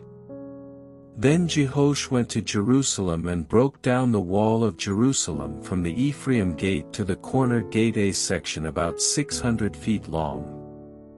He took all the gold and silver and all the articles found in the temple of the Lord and in the treasuries of the royal palace. He also took hostages and returned to Samaria. As for the other events of the reign of Jehoash, what he did and his achievements, including his war against Amaziah king of Judah, are they not written in the book of the annals of the kings of Israel? Jehoash rested with his fathers and was buried in Samaria with the kings of Israel. And Jeroboam his son succeeded him as king. Amaziah son of Joash king of Judah lived for fifteen years after the death of Jehoash son of Jehoahaz king of Israel. As for the other events of Amaziah's reign, are they not written in the book of the annals of the kings of Judah? They conspired against him in Jerusalem, and he fled to Lachish, but they sent men after him to Lachish and killed him there. He was brought back by horse and was buried in Jerusalem with his fathers, in the city of David. Then all the people of Judah took Azariah, who was sixteen years old, and made him king in place of his father Amaziah. He was the one who rebuilt Elath and restored it to Judah after Amaziah rested with his fathers. In the fifteenth year of Amaziah son of Joash king of Judah, Jeroboam son of Jehoash king of Israel became king in Samaria, and he reigned forty-one years. He did evil in the eyes of the Lord and did not turn away from any of the sins of Jeroboam son of Nebat, which he had caused Israel to commit. He was the one who restored the boundaries of Israel from Lebo Hamath to the sea of the Arabah, in accordance with the word of the Lord, the God of Israel, spoken through his servant Jonah son of Amittai, the prophet from Gath Hepher. The Lord had seen how bitterly everyone in Israel, whether slave or free, was suffering, there was no one to help them. And since the Lord had not said he would blot out the name of Israel from under heaven, he saved them by the hand of Jeroboam son of Jehoash. As for the other events of Jeroboam's reign, all he did, and his military achievements, including how he recovered for Israel both Damascus and Hamath, which had belonged to Yaudi, are they not written in the book of the annals of the kings of Israel? Jeroboam rested with his fathers, the kings of Israel. And Zechariah his son succeeded him as king. In the twenty-seventh year of Jeroboam king of Israel, Azariah son of Amaziah king of Judah began to reign. He was sixteen years old when he became king, and he reigned in Jerusalem fifty-two years. His mother's name was Jekoliah, she was from Jerusalem. He did what was right in the eyes of the Lord, just as his father Amaziah had done. The high places, however, were not removed, the people continued to offer sacrifices and burn incense there. The Lord afflicted the king with leprosy until the day he died, and he lived in a separate house. Jotham the king's son had charge of the palace and governed the people of the land. As for the other events of Azariah's reign, and all he did, are they not written in the book of the annals of the kings of Judah? Azariah rested with his fathers and was buried near them in the city of David. And Jotham his son succeeded him as king. In the thirty-eighth year of Azariah king of Judah, Zechariah son of Jeroboam became king of Israel in Samaria, and he reigned six months. He did evil in the eyes of the Lord, as his fathers had done. He did not turn away from the sins of Jeroboam son of Nebat, which he had caused Israel to commit. Shallum son of Jabesh conspired against Zechariah. He attacked him in front of the people, assassinated him and succeeded him as king. The other events of Zechariah's reign are written in the book of the annals of the kings of Israel. So the word of the Lord spoken to Jehu was fulfilled, Your descendants will sit on the throne of Israel to the fourth generation. Shallum son of Jabesh became king in the thirty-ninth year of Uzziah king of Judah, and he reigned in Samaria one month. Then Menahem son of Gadi went from Tirzah up to Samaria. He attacked Shallum son of Jabesh in Samaria, assassinated him and succeeded him as king. The other events of Shallum's reign, and the conspiracy he led, are written in the book of the annals of the kings of Israel. At that time Menahem, starting out from Tirzah, attacked Tiphsah and everyone in the city and its vicinity, because they refused to open their gates. He sacked Tiphsah and ripped open all the pregnant women. In the thirty-ninth year of Azariah king of Judah, Menahem son of Gadi became king of Israel, and he reigned in Samaria ten years. He did evil in the eyes of the Lord. During his entire reign he did not turn away from the sins of Jeroboam son of Nebat, which he had caused Israel to commit.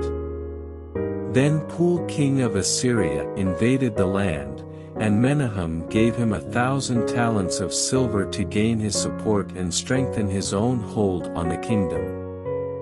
Menahem exacted this money from Israel.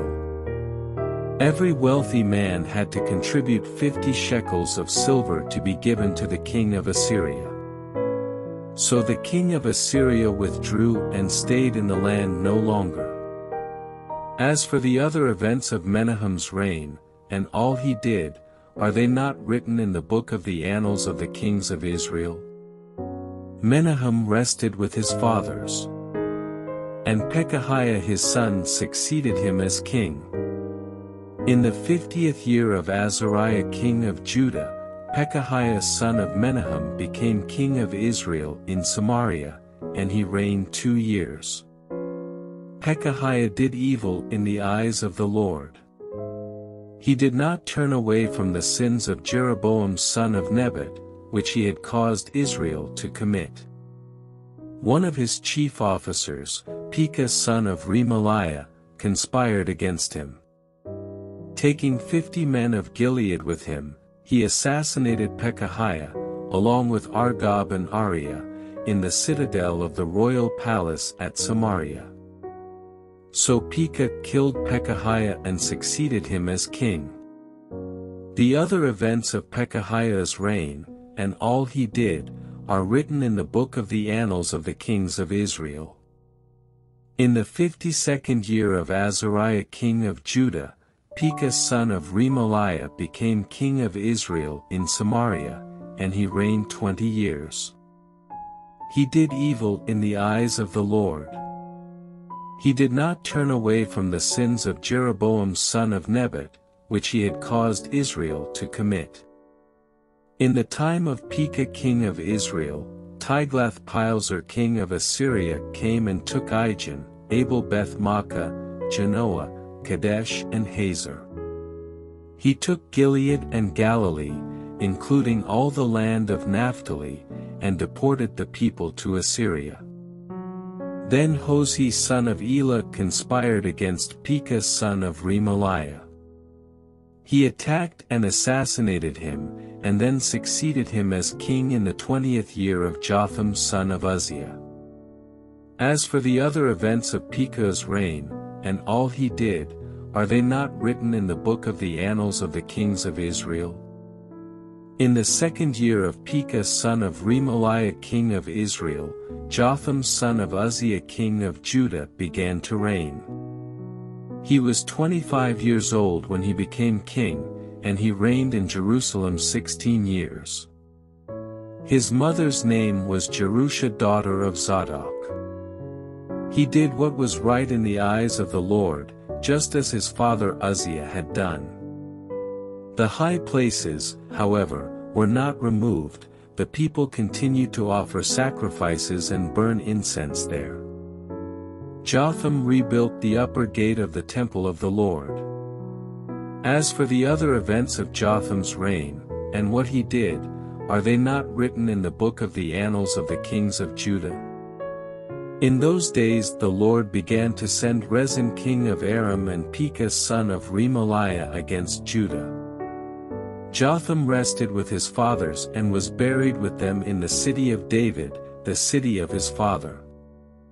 And Ahaz his son succeeded him as king. In the seventeenth year of Pekah son of Remaliah, Ahaz son of Jotham king of Judah began to reign. Ahaz was twenty years old when he became king, and he reigned in Jerusalem sixteen years. Unlike David his father, he did not do what was right in the eyes of the Lord his God. He walked in the ways of the kings of Israel and even sacrificed his son in the fire, following the detestable ways of the nations the Lord had driven out before the Israelites. He offered sacrifices and burned incense at the high places, on the hilltops and under every spreading tree. Then Rezin king of Aram and Pekah son of Remaliah king of Israel marched up to fight against Jerusalem and besieged Ahaz, but they could not overpower him. At that time, Rezin king of Aram recovered Elath for Aram by driving out the men of Judah. Edomites then moved into Elath and have lived there to this day. Ahaz sent messengers to say to Tiglath-Pileser king of Assyria, I am your servant and vassal. Come up and save me out of the hand of the king of Aram and of the king of Israel, who are attacking me. And Ahaz took the silver and gold found in the temple of the Lord and in the treasuries of the royal palace and sent it as a gift to the king of Assyria. The king of Assyria complied by attacking Damascus and capturing it. He deported its inhabitants to Kir and put Rezin to death. Then King Ahaz went to Damascus to meet Tiglath-Pileser king of Assyria. He saw an altar in Damascus and sent to Uriah the priest a sketch of the altar, with detailed plans for its construction. So Uriah the priest built an altar in accordance with all the plans that King Ahaz had sent from Damascus and finished it before King Ahaz returned. When the king came back from Damascus and saw the altar, he approached it and presented offerings on it. He offered up his burnt offering and grain offering, poured out his drink offering, and sprinkled the blood of his fellowship offerings on the altar. The bronze altar that stood before the Lord he brought from the front of the temple from between the new altar and the temple of the Lord and put it on the north side of the new altar. King Ahaz then gave these orders to Uriah the priest, on the large new altar, offer the morning burnt offering and the evening grain offering, the king's burnt offering and his grain offering, and the burnt offering of all the people of the land, and their grain offering and their drink offering. Sprinkle on the altar all the blood of the burnt offerings and sacrifices. But I will use the bronze altar for seeking guidance. And Uriah the priest did just as King Ahaz had ordered. King Ahaz took away the side panels and removed the basins from the movable stands. He removed the sea from the bronze bowls that supported it and set it on a stone base. He took away the Sabbath canopy that had been built at the temple and removed the royal entryway outside the temple of the Lord, in deference to the king of Assyria. As for the other events of the reign of Ahaz, and what he did, are they not written in the book of the annals of the kings of Judah? Ahaz rested with his fathers and was buried with them in the city of David. And Hezekiah his son succeeded him as king. In the twelfth year of Ahaz king of Judah, Hoshea son of Elah became king of Israel in Samaria, and he reigned nine years. He did evil in the eyes of the Lord, but not like the kings of Israel who preceded him. Shalmaneser king of Assyria came up to attack Hoshea, who had been Shalmaneser's vassal and had paid him tribute. But the king of Assyria discovered that Hoshea was a traitor, for he had sent envoys to So king of Egypt, and he no longer paid tribute to the king of Assyria, as he had done year by year. Therefore Shalmaneser seized him and put him in prison. The king of Assyria invaded the entire land, marched against Samaria and laid siege to it for three years. In the ninth year of Hoshea, the king of Assyria captured Samaria and deported the Israelites to Assyria. He settled them in Hala, in Gozan on the Habor River and in the towns of the Medes. All this took place because the Israelites had sinned against the Lord their God, who had brought them up out of Egypt from under the power of Pharaoh king of Egypt. They worshipped other gods and followed the practices of the nations the Lord had driven out before them, as well as the practices that the kings of Israel had introduced. The Israelites secretly did things against the Lord their God that were not right. From watchtower to fortified city they built themselves high places in all their towns.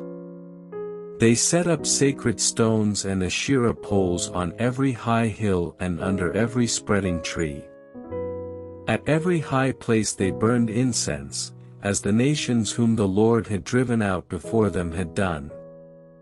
They did wicked things that provoked the Lord to anger. They worshipped idols, though the Lord had said, You shall not do this.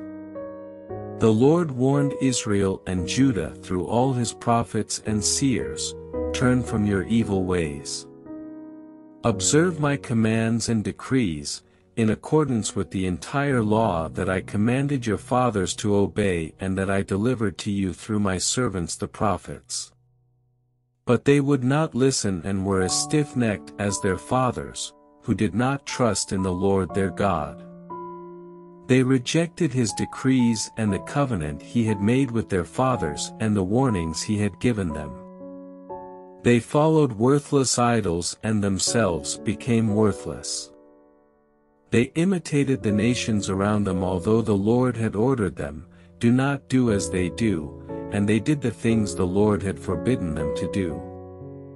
They forsook all the commands of the Lord their God and made for themselves two idols cast in the shape of calves, and an Asherah pole. They bowed down to all the starry hosts, and they worshipped Baal.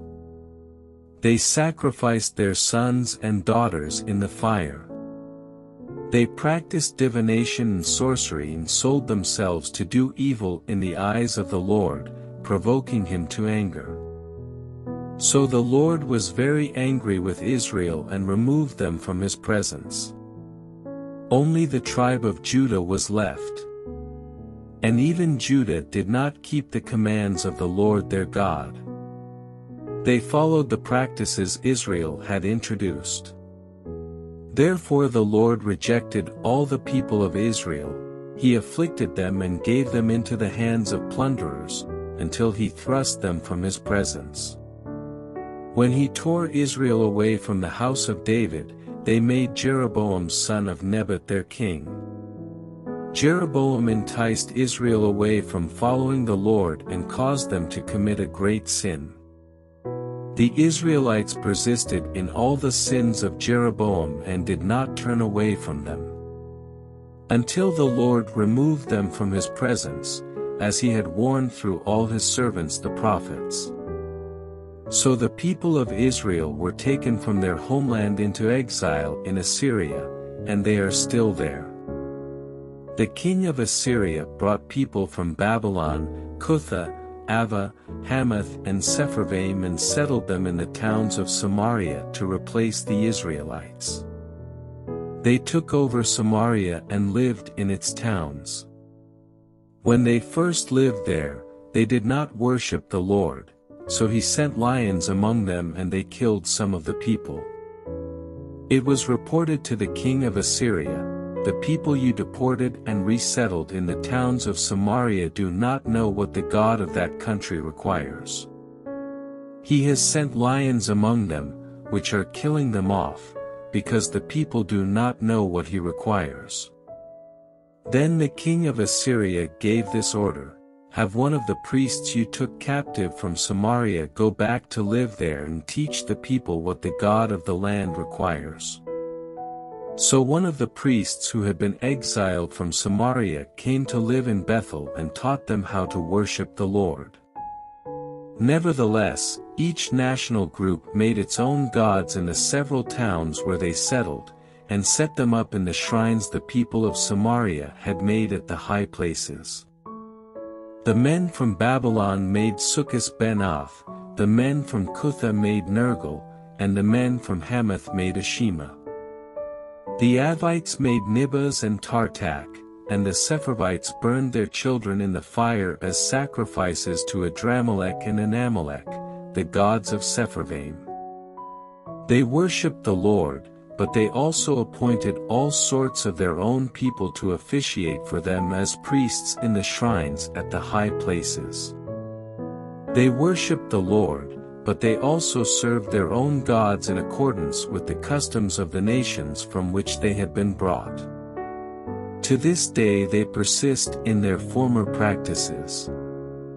They neither worship the Lord nor adhere to the decrees and ordinances, the laws and commands that the Lord gave the descendants of Jacob, whom he named Israel. When the Lord made a covenant with the Israelites, he commanded them, do not worship any other gods or bow down to them, serve them or sacrifice to them. But the Lord, who brought you up out of Egypt with mighty power and outstretched arm, is the one you must worship. To him you shall bow down and to him offer sacrifices. You must always be careful to keep the decrees and ordinances, the laws and commands he wrote for you. Do not worship other gods. Do not forget the covenant I have made with you, and do not worship other gods. Rather, worship the Lord your God, it is he who will deliver you from the hand of all your enemies. They would not listen, however, but persisted in their former practices. Even while these people were worshipping the Lord, they were serving their idols. To this day their children and grandchildren continue to do as their fathers did. In the third year of Hoshea son of Elah king of Israel, Hezekiah son of Ahaz king of Judah began to reign. He was 25 years old when he became king, and he reigned in Jerusalem 29 years. His mother's name was Abijah daughter of Zechariah. He did what was right in the eyes of the Lord, just as his father David had done. He removed the high places, smashed the sacred stones and cut down the Asherah poles. He broke into pieces the bronze snake Moses had made, for up to that time the Israelites had been burning incense to it. It was called Nehushtan. Hezekiah trusted in the Lord, the God of Israel. There was no one like him among all the kings of Judah, either before him or after him. He held fast to the Lord and did not cease to follow him, he kept the commands the Lord had given Moses. And the Lord was with him, he was successful in whatever he undertook. He rebelled against the king of Assyria and did not serve him. From watchtower to fortified city, he defeated the Philistines, as far as Gaza and its territory. In King Hezekiah's fourth year, which was the seventh year of Hoshea son of Elah king of Israel, Shalmaneser king of Assyria marched against Samaria and laid siege to it. At the end of three years the Assyrians took it. So Samaria was captured in Hezekiah's sixth year, which was the ninth year of Hoshea king of Israel. The king of Assyria deported Israel to Assyria and settled them in Hala, in Gozan on the Habor River and in towns of the Medes. This happened because they had not obeyed the Lord their God, but had violated his covenant all that Moses the servant of the Lord commanded. They neither listened to the commands nor carried them out. In the fourteenth year of King Hezekiah's reign, Sennacherib king of Assyria attacked all the fortified cities of Judah and captured them. So Hezekiah king of Judah sent this message to the king of Assyria at Lachish, I have done wrong. Withdraw from me, and I will pay whatever you demand of me. The king of Assyria exacted from Hezekiah king of Judah 300 talents of silver and 30 talents of gold. So Hezekiah gave him all the silver that was found in the temple of the Lord and in the treasuries of the royal palace. At this time Hezekiah king of Judah stripped off the gold with which he had covered the doors and doorposts of the temple of the Lord, and gave it to the king of Assyria. The king of Assyria sent his supreme commander, his chief officer and his field commander with a large army, from Lachish to King Hezekiah at Jerusalem. They came up to Jerusalem and stopped at the aqueduct of the upper pool, on the road to the washerman's field.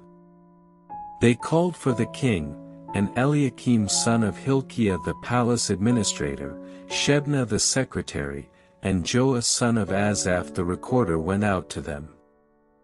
The field commander said to them, Tell Hezekiah, this is what the great king, the king of Assyria, says, On what are you basing this confidence of yours?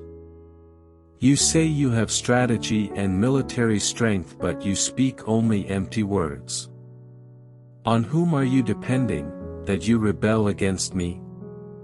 Look now, you are depending on Egypt, that splintered reed of a staff, which pierces a man's hand and wounds him if he leans on it.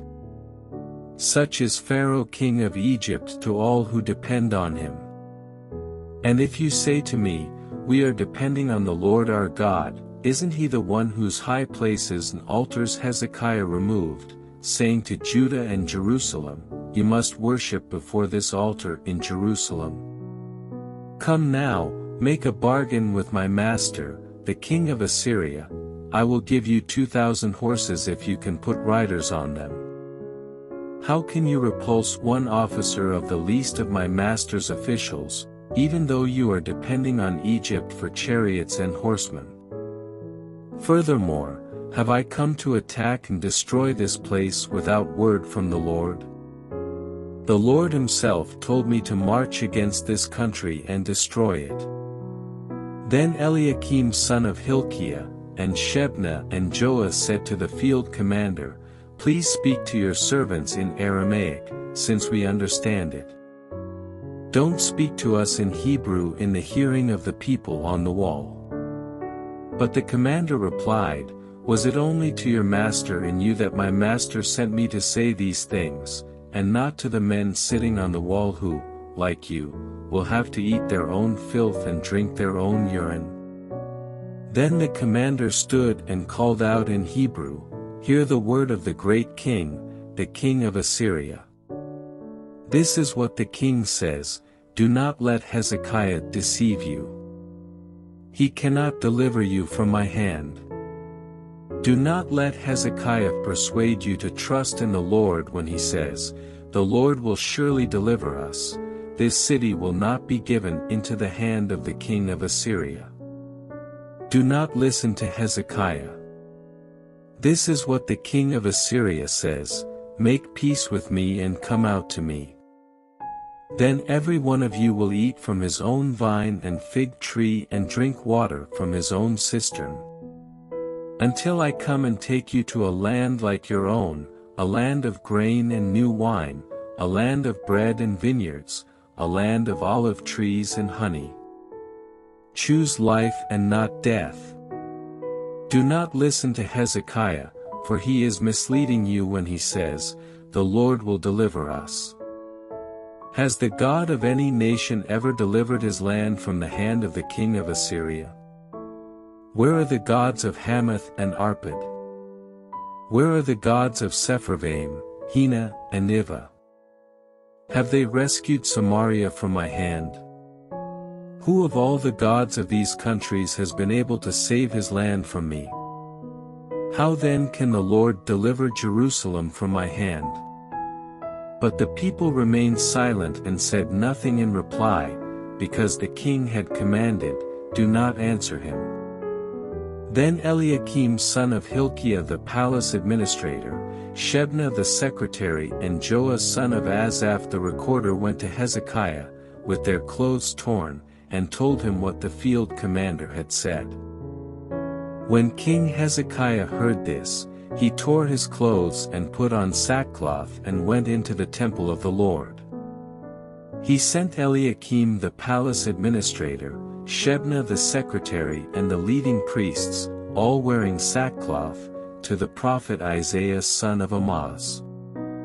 They told him, This is what Hezekiah says, This day is a day of distress and rebuke and disgrace, as when children come to the point of birth and there is no strength to deliver them. It may be that the Lord your God will hear all the words of the field commander, whom his master, the king of Assyria, has sent to ridicule the living God, and that he will rebuke him for the words the Lord your God has heard. Therefore pray for the remnant that still survives. When King Hezekiah's officials came to Isaiah, Isaiah said to them, Tell your master, this is what the Lord says, Do not be afraid of what you have heard those words with which the underlings of the king of Assyria have blasphemed me. Listen. I am going to put such a spirit in him that when he hears a certain report, he will return to his own country, and there I will have him cut down with the sword.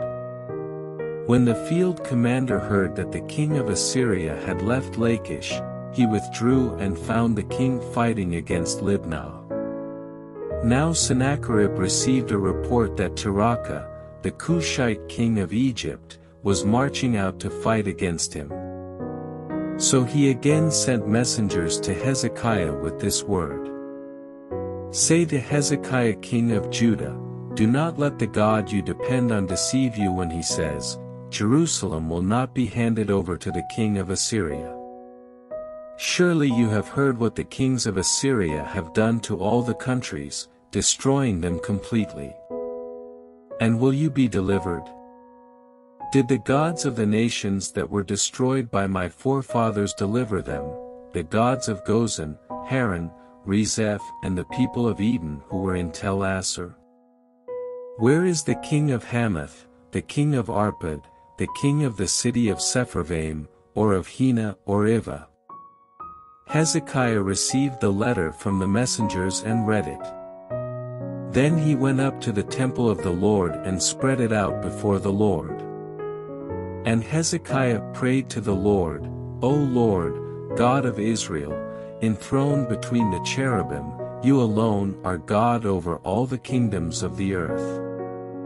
You have made heaven and earth. Give ear, O Lord, and hear, open your eyes, O Lord, and see, listen to the word Sennacherib has sent to insult the living God. It is true, O Lord, that the Assyrian kings have laid waste these nations and their lands. They have thrown their gods into the fire and destroyed them, for they were not gods but only wood and stone, fashioned by men's hands. Now, O Lord our God, deliver us from his hand, so that all kingdoms on earth may know that you alone, O Lord, our God. Then Isaiah son of Amoz sent a message to Hezekiah, This is what the Lord, the God of Israel, says, I have heard your prayer concerning Sennacherib king of Assyria. This is the word that the Lord has spoken against him, the virgin daughter of Zion despises you and mocks you. The daughter of Jerusalem tosses her head as you flee. Who is it you have insulted and blasphemed? Against whom have you raised your voice and lifted your eyes in pride? Against the Holy One of Israel. By your messengers you have heaped insults on the Lord. And you have said, With my many chariots I have ascended the heights of the mountains, the utmost heights of Lebanon. I have cut down its tallest cedars, the choicest of its pines. I have reached its remotest parts, the finest of its forests. I have dug wells in foreign lands and drunk the water there. With the soles of my feet I have dried up all the streams of Egypt. Have you not heard? Long ago I ordained it. In days of old I planned it, now I have brought it to pass, that you have turned fortified cities into piles of stone. Their people, drained of power, are dismayed and put to shame. They are like plants in the field, like tender green shoots, like grass sprouting on the roof, scorched before it grows up. But I know where you stay and when you come and go and how you rage against me. Because you rage against me and your insolence has reached my ears, I will put my hook in your nose and my bit in your mouth, and I will make you return by the way you came. This will be the sign for you, O Hezekiah, this year you will eat what grows by itself, and the second year what springs from that. But in the third year sow and reap, plant vineyards and eat their fruit. Once more a remnant of the house of Judah will take root below and bear fruit above. For out of Jerusalem will come a remnant, and out of Mount Zion a band of survivors. The zeal of the Lord Almighty will accomplish this. Therefore this is what the Lord says concerning the king of Assyria, he will not enter this city or shoot an arrow here. He will not come before it with shield or build a siege ramp against it. By the way that he came he will return, he will not enter this city, declares the Lord. I will defend this city and save it, for my sake and for the sake of David my servant. That night the angel of the Lord went out and put to death a hundred and eighty-five thousand men in the Assyrian camp. When the people got up the next morning there were all the dead bodies. So Sennacherib king of Assyria broke camp and withdrew. He returned to Nineveh and stayed there. One day, while he was worshipping in the temple of his god Nisroch, his sons Adramelech and Sharezer cut him down with the sword, and they escaped to the land of Ararat. And Esarhaddon his son succeeded him as king. In those days Hezekiah became ill and was at the point of death. The prophet Isaiah son of Amoz went to him and said, This is what the Lord says, Put your house in order, because you are going to die, you will not recover. Hezekiah turned his face to the wall and prayed to the Lord. Remember, O Lord, how I have walked before you faithfully and with wholehearted devotion and have done what is good in your eyes. And Hezekiah wept bitterly. Before Isaiah had left the middle court, the word of the Lord came to him. Go back and tell Hezekiah, the leader of my people, this is what the Lord, the God of your father David, says, I have heard your prayer and seen your tears, I will heal you. On the third day from now you will go up to the temple of the Lord. I will add fifteen years to your life.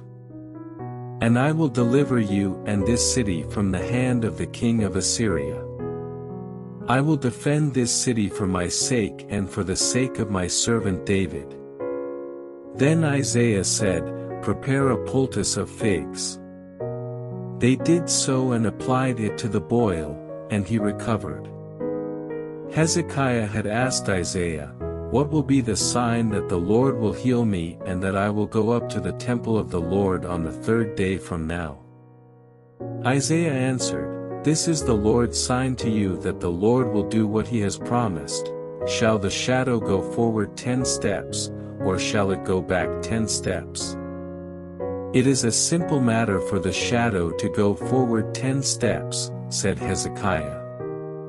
Rather, have it go back ten steps.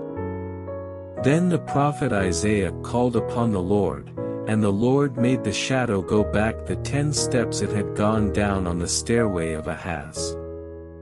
At that time Merodach-Baladan son of Baladan king of Babylon sent Hezekiah letters and a gift, because he had heard of Hezekiah's illness. Hezekiah received the messengers and showed them all that was in his storehouses the silver, the gold, the spices, and the fine oil his armory and everything found among his treasures. There was nothing in his palace or in all his kingdom that Hezekiah did not show them. Then Isaiah the prophet went to King Hezekiah and asked, What did those men say, and where did they come from? From a distant land, Hezekiah replied. They came from Babylon. The prophet asked, What did they see in your palace? They saw everything in my palace, Hezekiah said. There is nothing among my treasures that I did not show them. Then Isaiah said to Hezekiah, Hear the word of the Lord. The time will surely come when everything in your palace, and all that your fathers have stored up until this day, will be carried off to Babylon. Nothing will be left, says the Lord. And some of your descendants, your own flesh and blood, that will be born to you, will be taken away, and they will become eunuchs in the palace of the king of Babylon.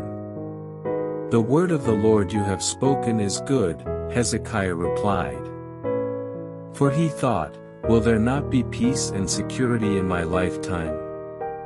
As for the other events of Hezekiah's reign, all his achievements and how he made the pool and the tunnel by which he brought water into the city, are they not written in the book of the annals of the kings of Judah? Hezekiah rested with his fathers. And Manasseh his son succeeded him as king. Manasseh was twelve years old when he became king, and he reigned in Jerusalem fifty-five years. His mother's name was Hephzibah. He did evil in the eyes of the Lord, following the detestable practices of the nations the Lord had driven out before the Israelites. He rebuilt the high places his father Hezekiah had destroyed, he also erected altars to Baal and made an Asherah pole, as Ahab king of Israel had done. He bowed down to all the starry hosts and worshipped them. He built altars in the temple of the Lord, of which the Lord had said, In Jerusalem I will put my name. In both courts of the temple of the Lord, he built altars to all the starry hosts. He sacrificed his own son in the fire, practiced sorcery and divination, and consulted mediums and spiritists. He did much evil in the eyes of the Lord, provoking him to anger. He took the carved Asherah pole he had made and put it in the temple, of which the Lord had said to David and to his son Solomon, In this temple and in Jerusalem, which I have chosen out of all the tribes of Israel, I will put my name forever. I will not again make the feet of the Israelites wander from the land I gave their forefathers, if only they will be careful to do everything I commanded them and will keep the whole law that my servant Moses gave them. But the people did not listen. Manasseh led them astray, so that they did more evil than the nations the Lord had destroyed before the Israelites. The Lord said through his servants the prophets, Manasseh king of Judah has committed these detestable sins. He has done more evil than the Amorites who preceded him and has led Judah into sin with his idols. Therefore this is what the Lord, the God of Israel, says, I am going to bring such disaster on Jerusalem and Judah that the ears of everyone who hears of it will tingle. I will stretch out over Jerusalem the measuring line used against Samaria and the plumb line used against the house of Ahab. I will wipe out Jerusalem as one wipes a dish, wiping it and turning it upside down. I will forsake the remnant of my inheritance and hand them over to their enemies. They will be looted and plundered by all their foes. Because they have done evil in my eyes and have provoked me to anger from the day their forefathers came out of Egypt until this day. Moreover, Manasseh also shed so much innocent blood that he filled Jerusalem from end to end besides the sin that he had caused Judah to commit, so that they did evil in the eyes of the Lord. As for the other events of Manasseh's reign, and all he did, including the sin he committed, are they not written in the book of the annals of the kings of Judah? Manasseh rested with his fathers and was buried in his palace garden, the garden of Uzza. And Amon his son succeeded him as king. Amon was 22 years old when he became king, and he reigned in Jerusalem two years. His mother's name was Meshullemeth daughter of Haruz, she was from Jotbah. He did evil in the eyes of the Lord, as his father Manasseh had done. He walked in all the ways of his father, he worshipped the idols his father had worshipped, and bowed down to them. He forsook the Lord, the God of his fathers, and did not walk in the way of the Lord. Amon's officials conspired against him and assassinated the king in his palace. Then the people of the land killed all who had plotted against King Amon, and they made Josiah his son king in his place. As for the other events of Amon's reign, and what he did, are they not written in the book of the annals of the kings of Judah? He was buried in his grave in the garden of Uzza. And Josiah his son succeeded him as king. Josiah was eight years old when he became king, and he reigned in Jerusalem thirty-one years. His mother's name was Jedidah daughter of Adaiah, she was from Bozkath.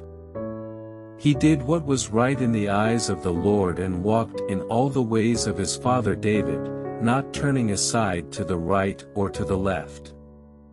In the eighteenth year of his reign, King Josiah sent the secretary, Shaphan son of Azaliah, the son of Meshullam, to the temple of the Lord.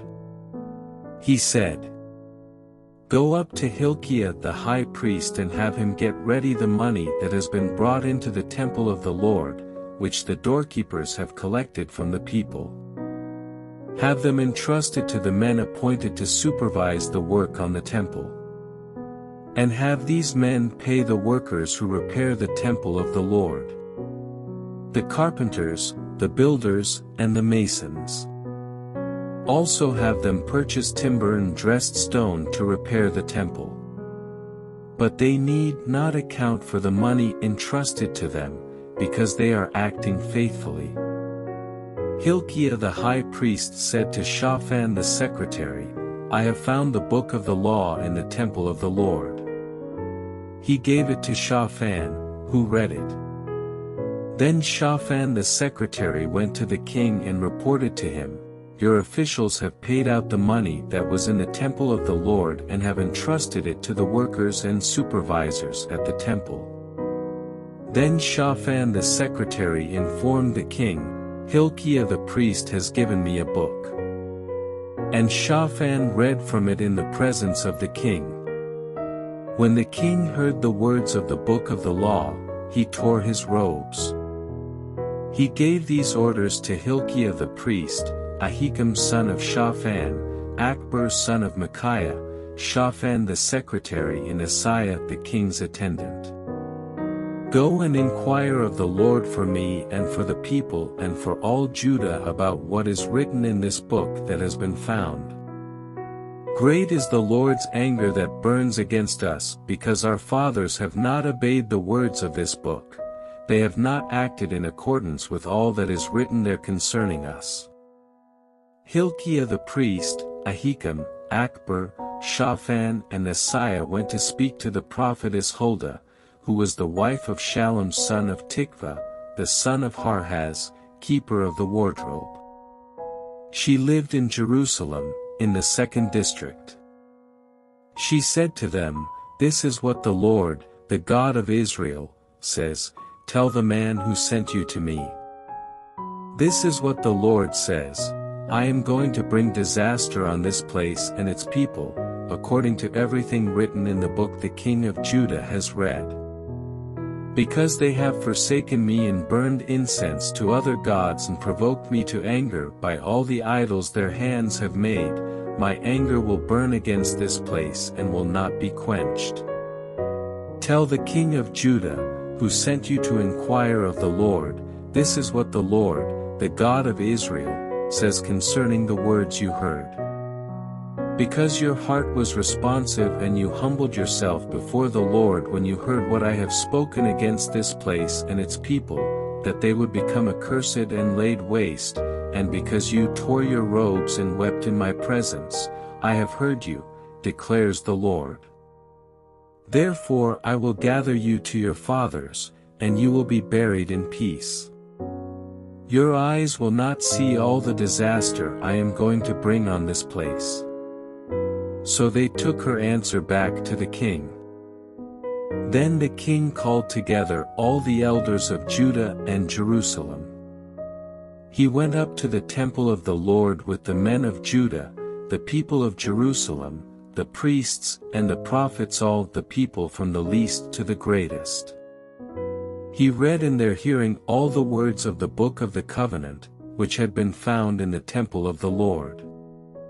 The king stood by the pillar and renewed the covenant in the presence of the Lord, to follow the Lord and keep his commands, regulations and decrees with all his heart and all his soul, thus confirming the words of the covenant written in this book. Then all the people pledged themselves to the covenant.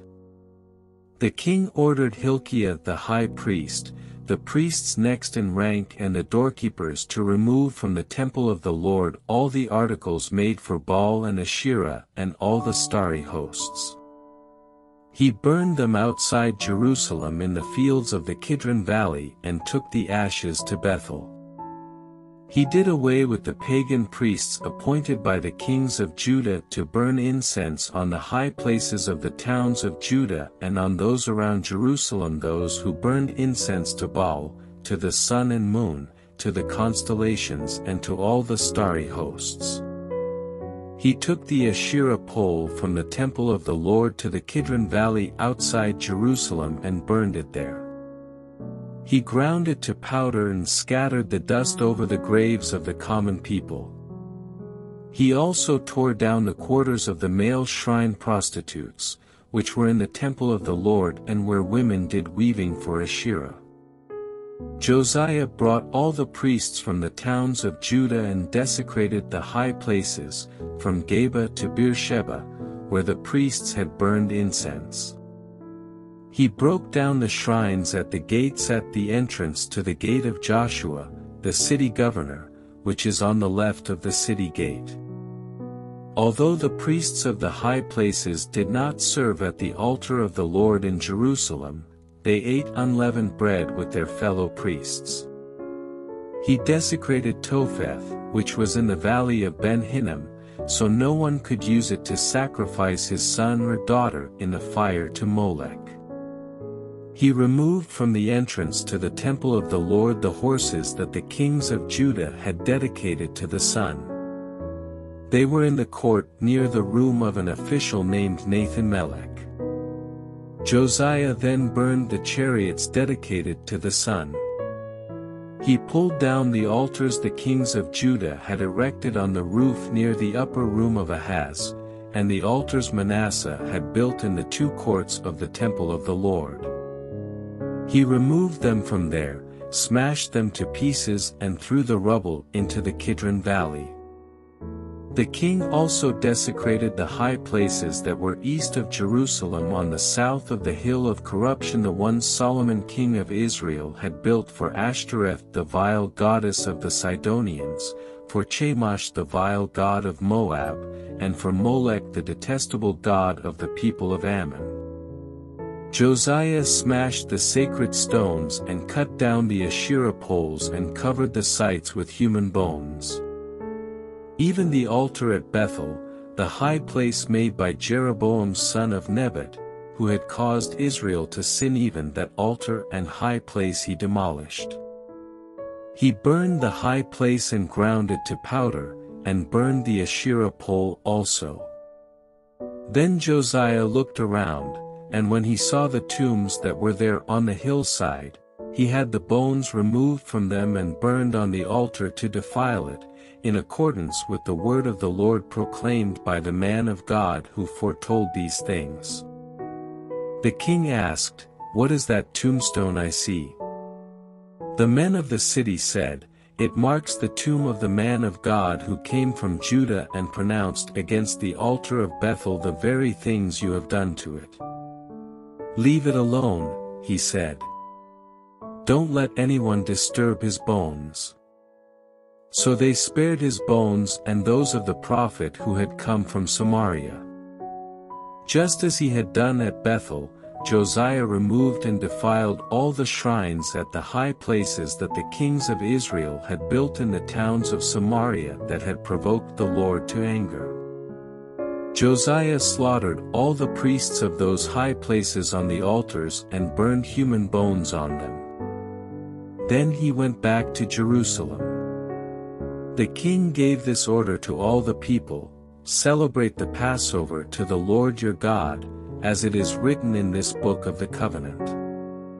Not since the days of the judges who led Israel, nor throughout the days of the kings of Israel and the kings of Judah, had any such Passover been observed. But in the eighteenth year of King Josiah, this Passover was celebrated to the Lord in Jerusalem.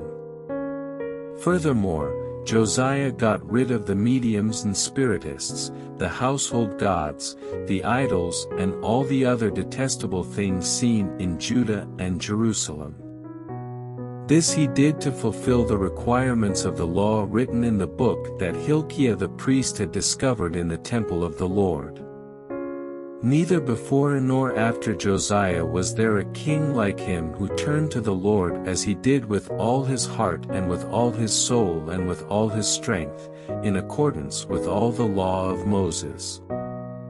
Nevertheless, the Lord did not turn away from the heat of his fierce anger, which burned against Judah because of all that Manasseh had done to provoke him to anger. So the Lord said, I will remove Judah also from my presence as I removed Israel, and I will reject Jerusalem, the city I chose, and this temple, about which I said, There shall my name be. As for the other events of Josiah's reign, and all he did, are they not written in the book of the annals of the kings of Judah? While Josiah was king, Pharaoh Necho king of Egypt went up to the Euphrates River to help the king of Assyria. King Josiah marched out to meet him in battle, but Necho faced him and killed him at Megiddo. Josiah's servants brought his body in a chariot from Megiddo to Jerusalem and buried him in his own tomb. And the people of the land took Jehoahaz son of Josiah and anointed him and made him king in place of his father. Jehoahaz was 23 years old when he became king, and he reigned in Jerusalem three months.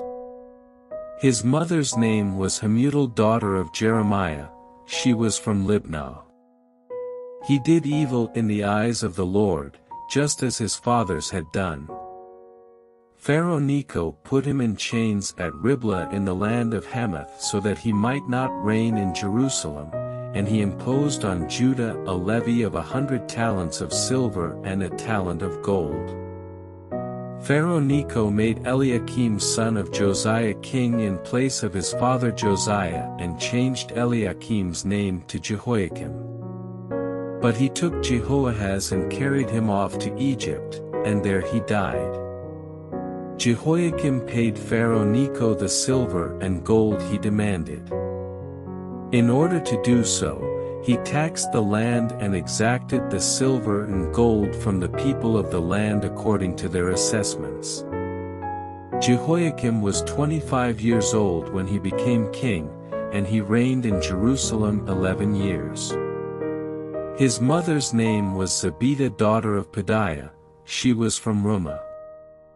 And he did evil in the eyes of the Lord, just as his fathers had done.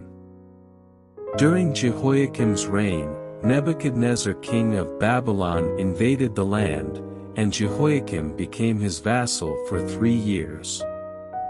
But then he changed his mind and rebelled against Nebuchadnezzar. The Lord sent Babylonian, Aramean, Moabite and Ammonite raiders against him. He sent them to destroy Judah, in accordance with the word of the Lord proclaimed by his servants the prophets. Surely these things happened to Judah according to the Lord's command, in order to remove them from his presence because of the sins of Manasseh and all he had done, including the shedding of innocent blood. For he had filled Jerusalem with innocent blood, and the Lord was not willing to forgive. As for the other events of Jehoiakim's reign, and all he did, are they not written in the book of the annals of the kings of Judah? Jehoiakim rested with his fathers. And Jehoiachin his son succeeded him as king. The king of Egypt did not march out from his own country again, because the king of Babylon had taken all his territory, from the Wadi of Egypt to the Euphrates River.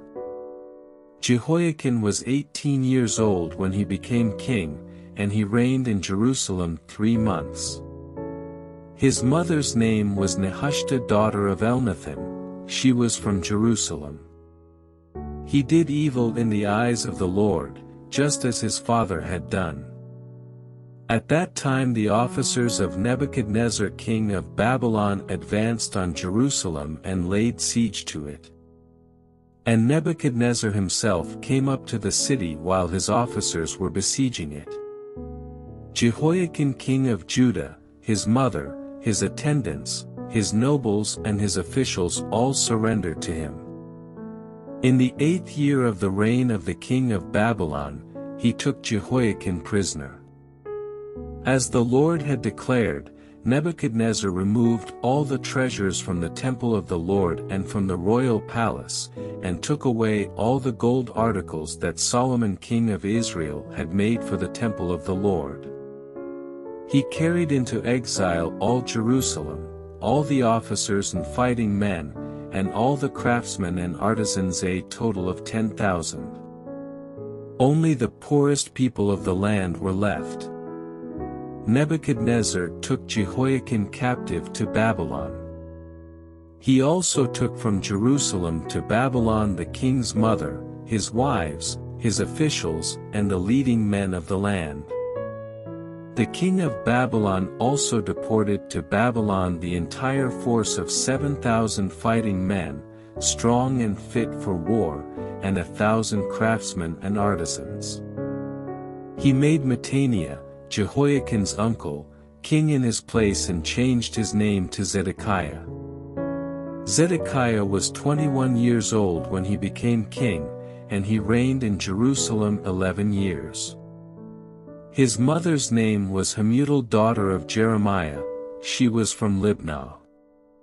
He did evil in the eyes of the Lord, just as Jehoiakim had done. It was because of the Lord's anger that all this happened to Jerusalem and Judah, and in the end he thrust them from his presence. Now Zedekiah rebelled against the king of Babylon. So in the ninth year of Zedekiah's reign, on the tenth day of the tenth month, Nebuchadnezzar king of Babylon marched against Jerusalem with his whole army. He encamped outside the city and built siege works all around it. The city was kept under siege until the eleventh year of King Zedekiah. By the ninth day of the fourth month the famine in the city had become so severe that there was no food for the people to eat. Then the city wall was broken through, and the whole army fled at night through the gate between the two walls near the king's garden, though the Babylonians were surrounding the city. They fled toward the Arabah. But the Babylonian army pursued the king and overtook him in the plains of Jericho. All his soldiers were separated from him and scattered. And he was captured. He was taken to the king of Babylon at Riblah, where sentence was pronounced on him. They killed the sons of Zedekiah before his eyes. Then they put out his eyes, bound him with bronze shackles and took him to Babylon. On the seventh day of the fifth month, in the nineteenth year of Nebuchadnezzar king of Babylon, Nebuzaradan commander of the imperial guard, an official of the king of Babylon, came to Jerusalem. He set fire to the temple of the Lord, the royal palace and all the houses of Jerusalem. Every important building he burned down. The whole Babylonian army, under the commander of the imperial guard, broke down the walls around Jerusalem. Nebuzaradan the commander of the guard carried into exile the people who remained in the city, along with the rest of the populace and those who had gone over to the king of Babylon. But the commander left behind some of the poorest people of the land to work the vineyards and fields. The Babylonians broke up the bronze pillars, the movable stands and the bronze sea that were at the temple of the Lord and they carried the bronze to Babylon. They also took away the pots, shovels, wick trimmers, dishes and all the bronze articles used in the temple service.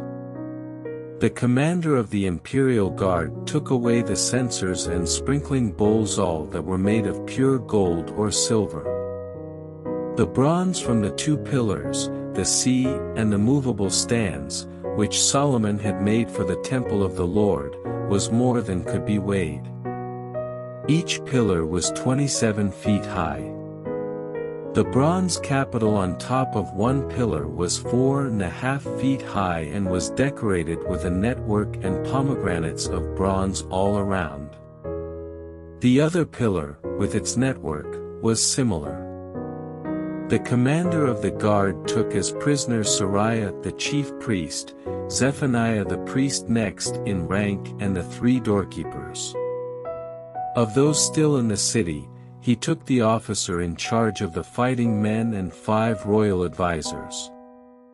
He also took the secretary who was chief officer in charge of conscripting the people of the land and sixty of his men who were found in the city. Nebuzaradan the commander took them all and brought them to the king of Babylon at Riblah. There at Riblah, in the land of Hamath, the king had them executed. So Judah went into captivity, away from her land. Nebuchadnezzar king of Babylon appointed Gedaliah son of Ahikam, the son of Shaphan, to be over the people he had left behind in Judah. When all the army officers and their men heard that the king of Babylon had appointed Gedaliah as governor, they came to Gedaliah at Mizpah Ishmael son of Nethaniah, Johanan son of Kareah, Seraiah son of Tanhumeth the Netophathite, Jaazaniah the son of the Maacathite, and their men. Gedaliah took an oath to reassure them and their men. Do not be afraid of the Babylonian officials, he said. Settle down in the land and serve the king of Babylon, and it will go well with you. In the seventh month, however, Ishmael son of Nethaniah, the son of Elishama, who was of royal blood, came with ten men and assassinated Gedaliah and also the men of Judah and the Babylonians who were with him at Mizpah. At this, all the people from the least to the greatest, together with the army officers, fled to Egypt for fear of the Babylonians. In the thirty-seventh year of the exile of Jehoiachin king of Judah, in the year Evil-Merodach became king of Babylon, he released Jehoiachin from prison on the twenty-seventh day of the twelfth month. He spoke kindly to him and gave him a seat of honor higher than those of the other kings who were with him in Babylon. So Jehoiachin put aside his prison clothes and for the rest of his life ate regularly at the king's table. Day by day the king gave Jehoiachin a regular allowance as long as he lived.